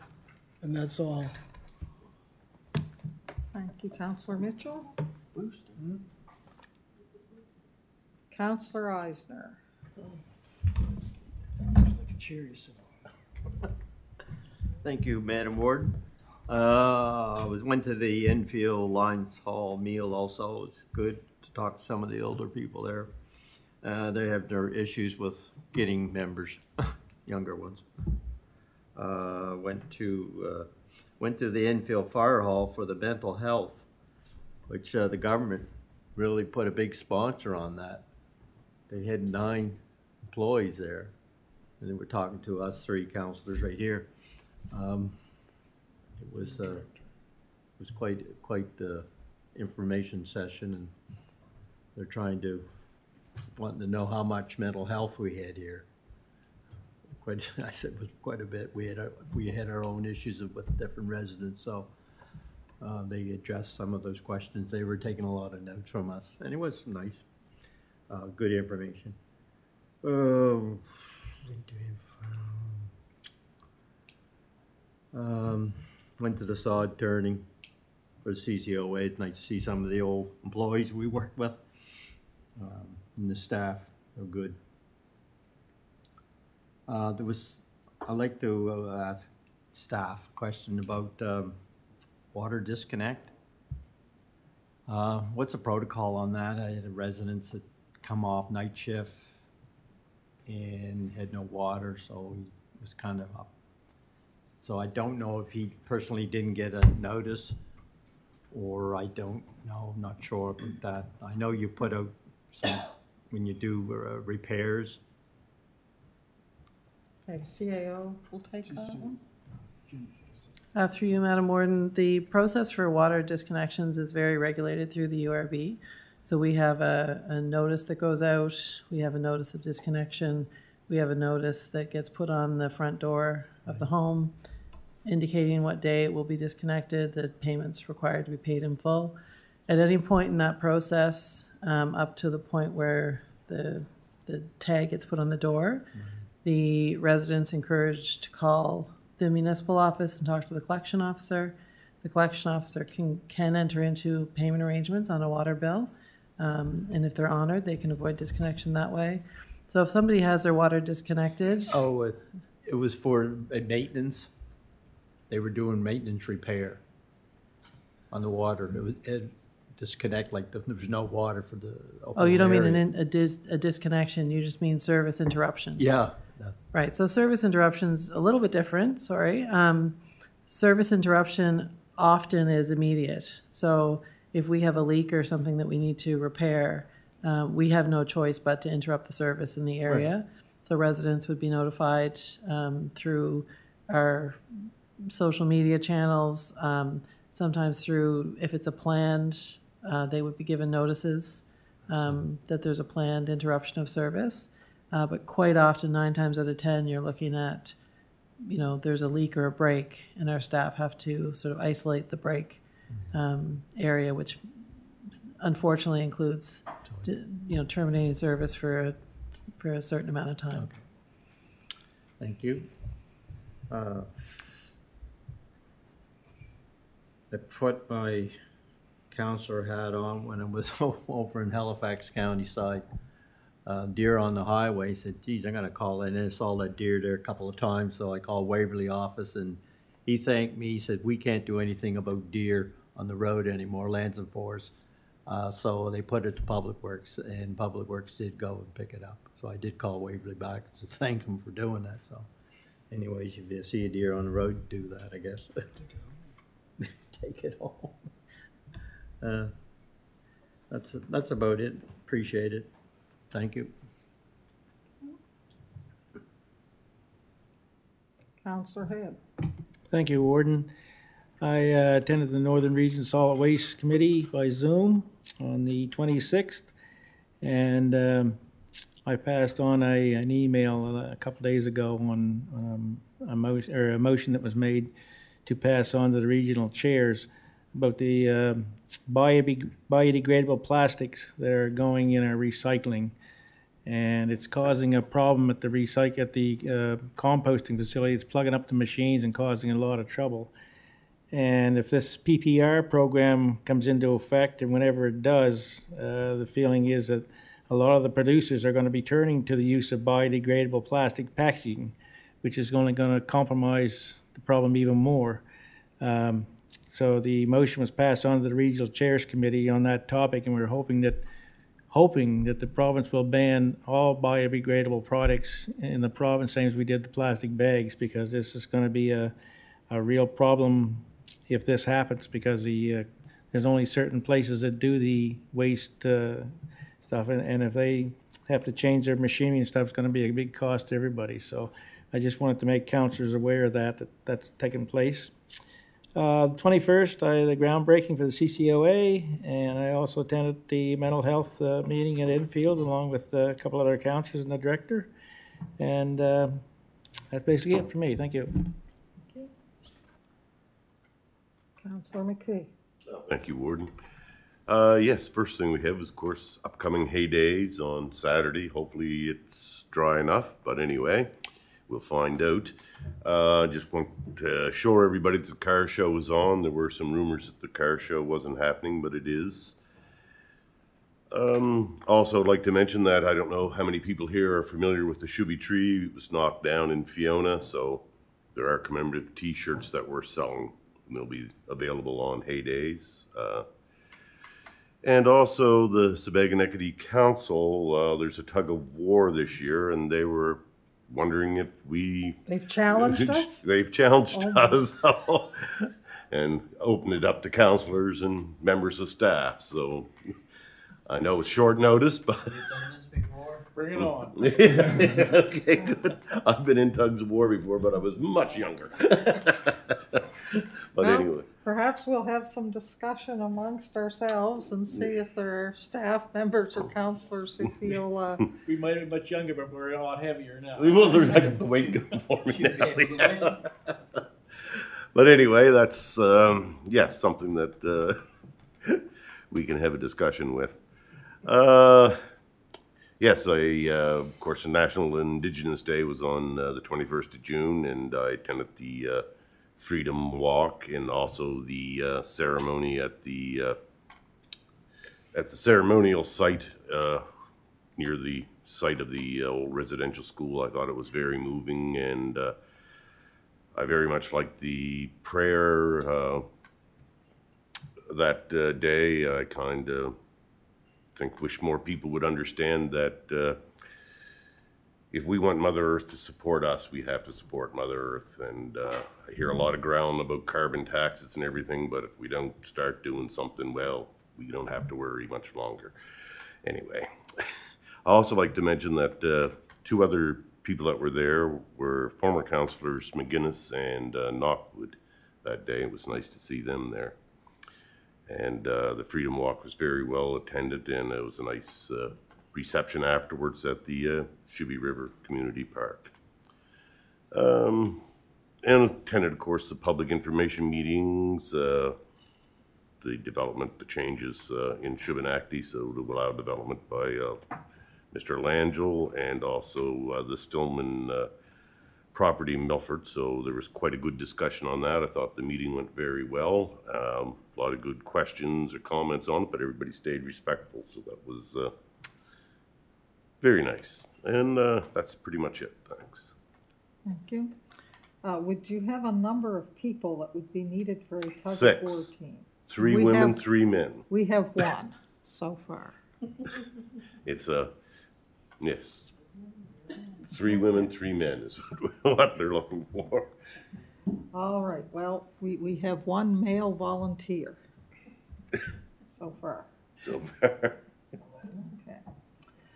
All right, thank you. Uh, Deputy Warden Harry.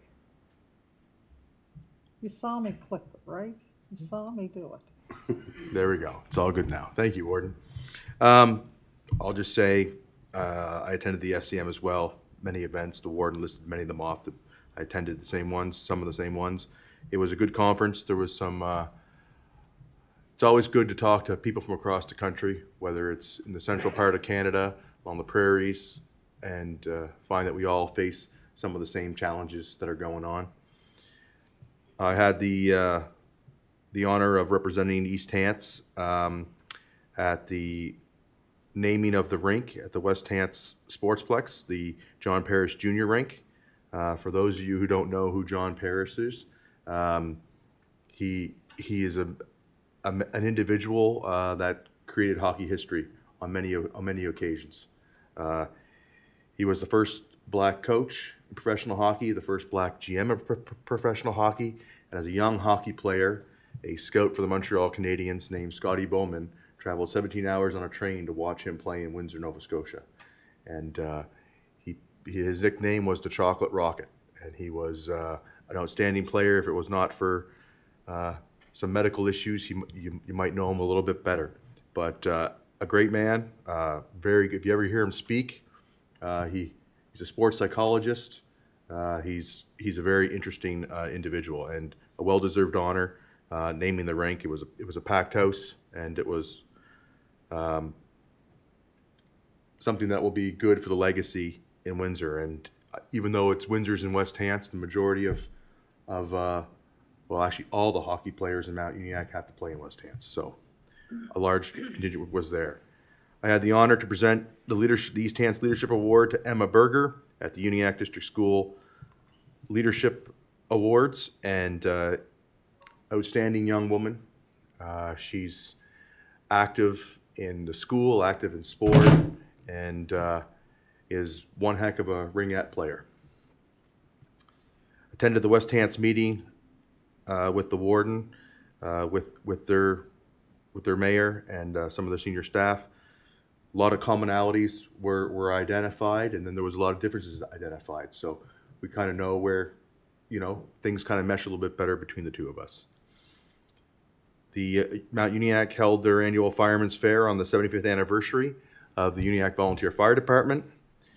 Well attended, beautiful day. Uh, all the rides were free as part of the 75th anniversary celebrations.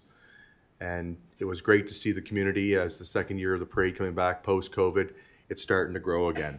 Uh, appreciate the uh, the attendance from other fire departments. Uh, I believe Gore this year won best fire truck in the parade, and the uh, Colchester East Hants Library Branch Mount Uniacke won best overall float. The theme this year was Carnival, and they had plenty of clowns and everything else going along, and it was it, it was really nice. Had a meeting, uh, got a got got a call to go meet uh, MLA Brad Johns. Had a good sit down talk with him.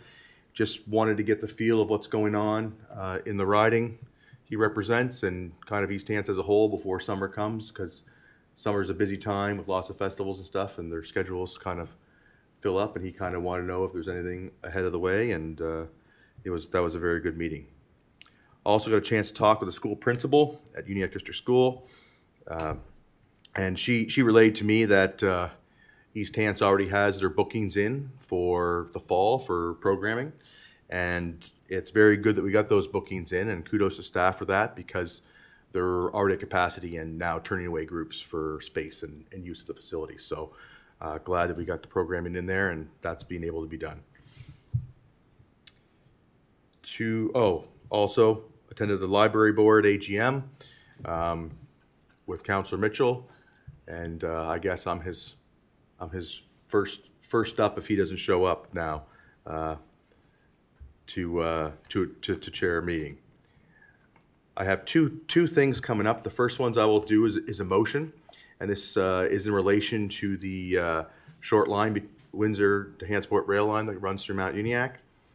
And the motion is council to direct staff to write a letter to the Honorable Kim Masland, Minister of the Nova Scotia Department of Public Works, expressing council's desire for an expeditious proclamation of Bill 236 or intervention by the province declaring the Windsor Hantsport Railway no longer have control and interest in the former short line rail. I so move. Moved and seconded.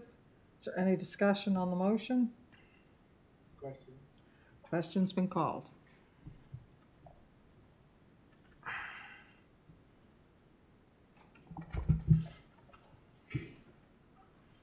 And the motion is passed unanimously. Thank you, council. This has been an ongoing issue for over six years, and we're still waiting to get a response uh, from the provincial department. Hopefully, um, we'll, we'll get one. The, ne- the last thing I have is um, to staff uh, around regulations. I don't know if uh, it's only been passed in the last day or so.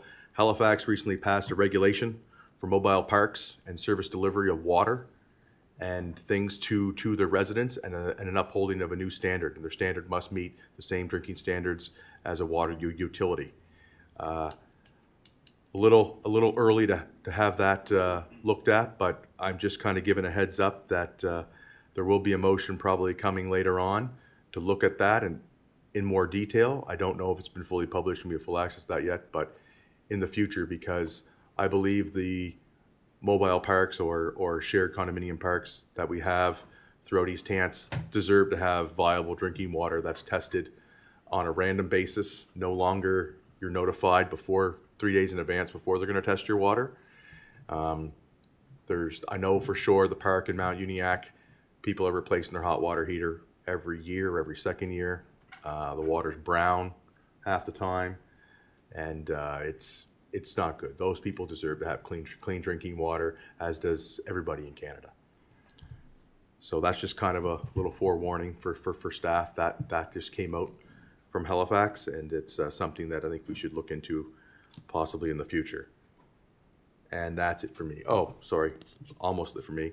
Last thing, uh, tomorrow I'll be attending the graduation ceremonies in Windsor uh, at Avon View High School. But I want to wish all the graduates uh, who are leaving their elementary schools to junior highs, junior highs to high schools, and high schools on to university or career path in life all the best and wishing them for a safe summer. Thank you. Thank you. Uh, Counselor Moussa. Uh, Thank you, Madam Warden. I was, go- I wasn't gonna mention it, but uh, probably I should. Uh, I want to share with you a- a story that uh, my own nephew that lost his daughter like in October, four years old. And after staying at home for a few months, he decided to buy her favorite restaurant at, in Tantallon. And when the fire started, he went there with his two kids and his wife, and they stayed there for a week or so, cooking 250 meals every day instead of sitting home. So I'm very proud of him. Thank you. Thank you. Counselor Mitchell.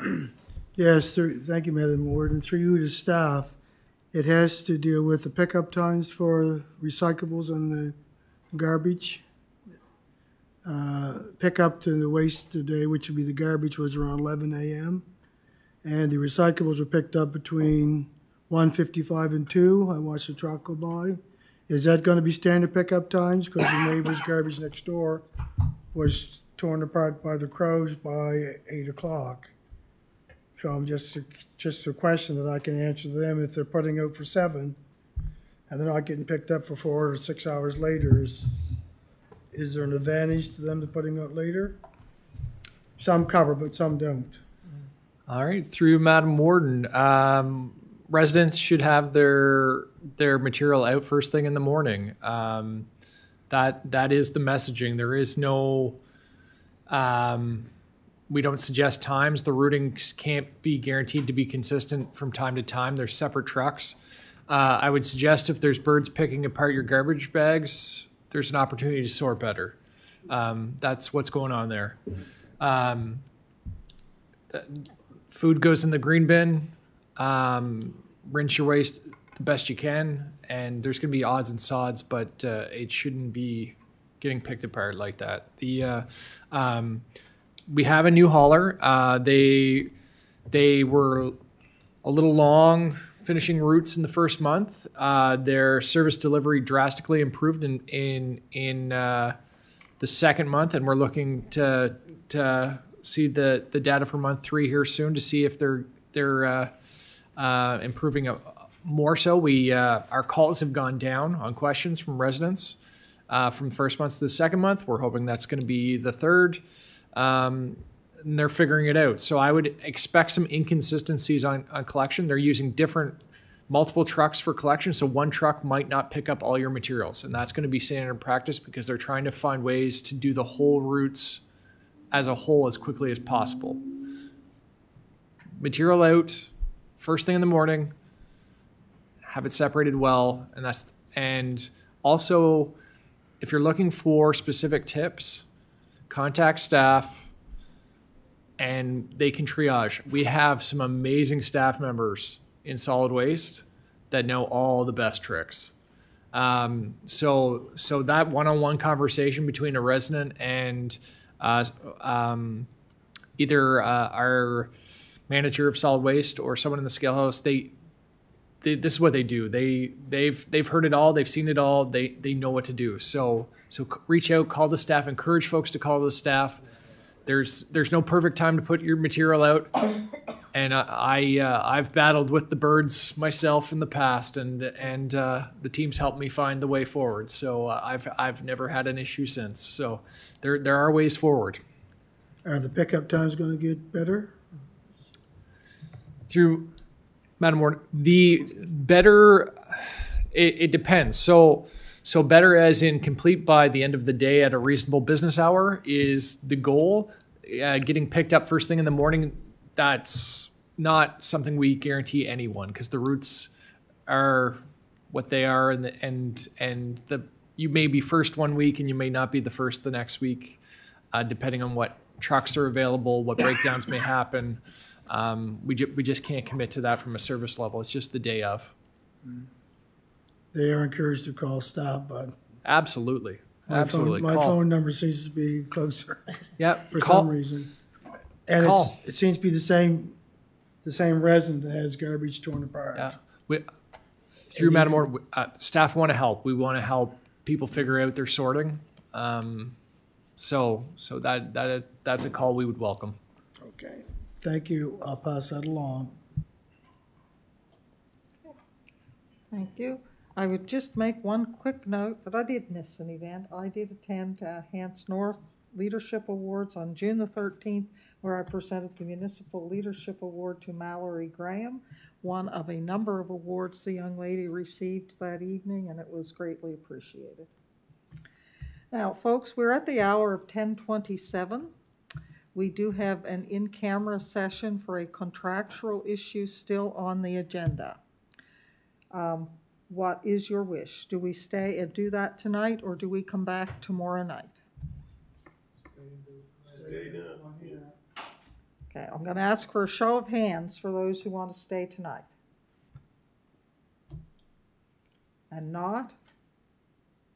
I can't stay, so I'll be taking off. Okay, Counselor Rhyno? I can't stay, so Okay. So the majority would like to finish tonight? Okay. Majority rules. All right, I would be looking for a motion to move in camera. Seconded? Moved and seconded. All those in favor? Aye. Contrary, motion is carried. We will give staff some time to uh,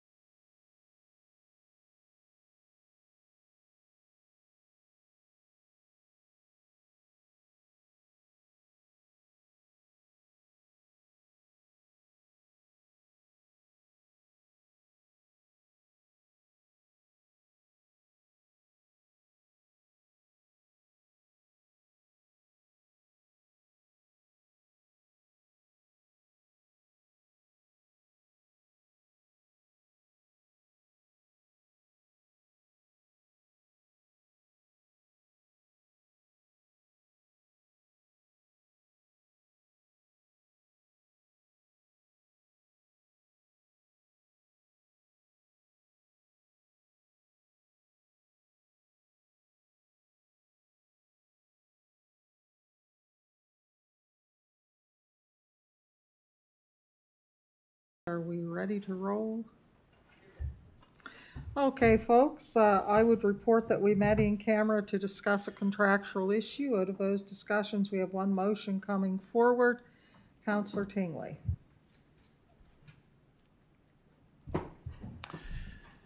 Uh, I'll move that council approve an addition one hundred thousand to project twenty-two oh twenty-three Gap Roads Project Two, which includes additional traffic calming on Boyd Avenue to be funded from the contingency reserve. Seconded by Counselor Hebb. Is there any discussion on the motion? Question. Question's been called.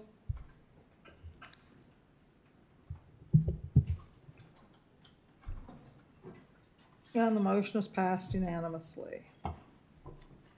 That concludes the business on our agenda tonight. It's been a quite a marathon session. And I don't have my agenda in front of me anymore. Okay, I would now be looking for a motion to set the time and the date of the next council meeting, July the eighteenth, twenty twenty-three, regular meeting of council policy in camera, and July twenty-sixth, regular meeting of council, and July the twenty-seventh, two thousand twenty-three for the public hearing. Moved by Counselor Hebb, Second. seconded by Deputy Warden. All those in favor? Aye. Contrary, motion is carried. I would now be looking for a motion to adjourn.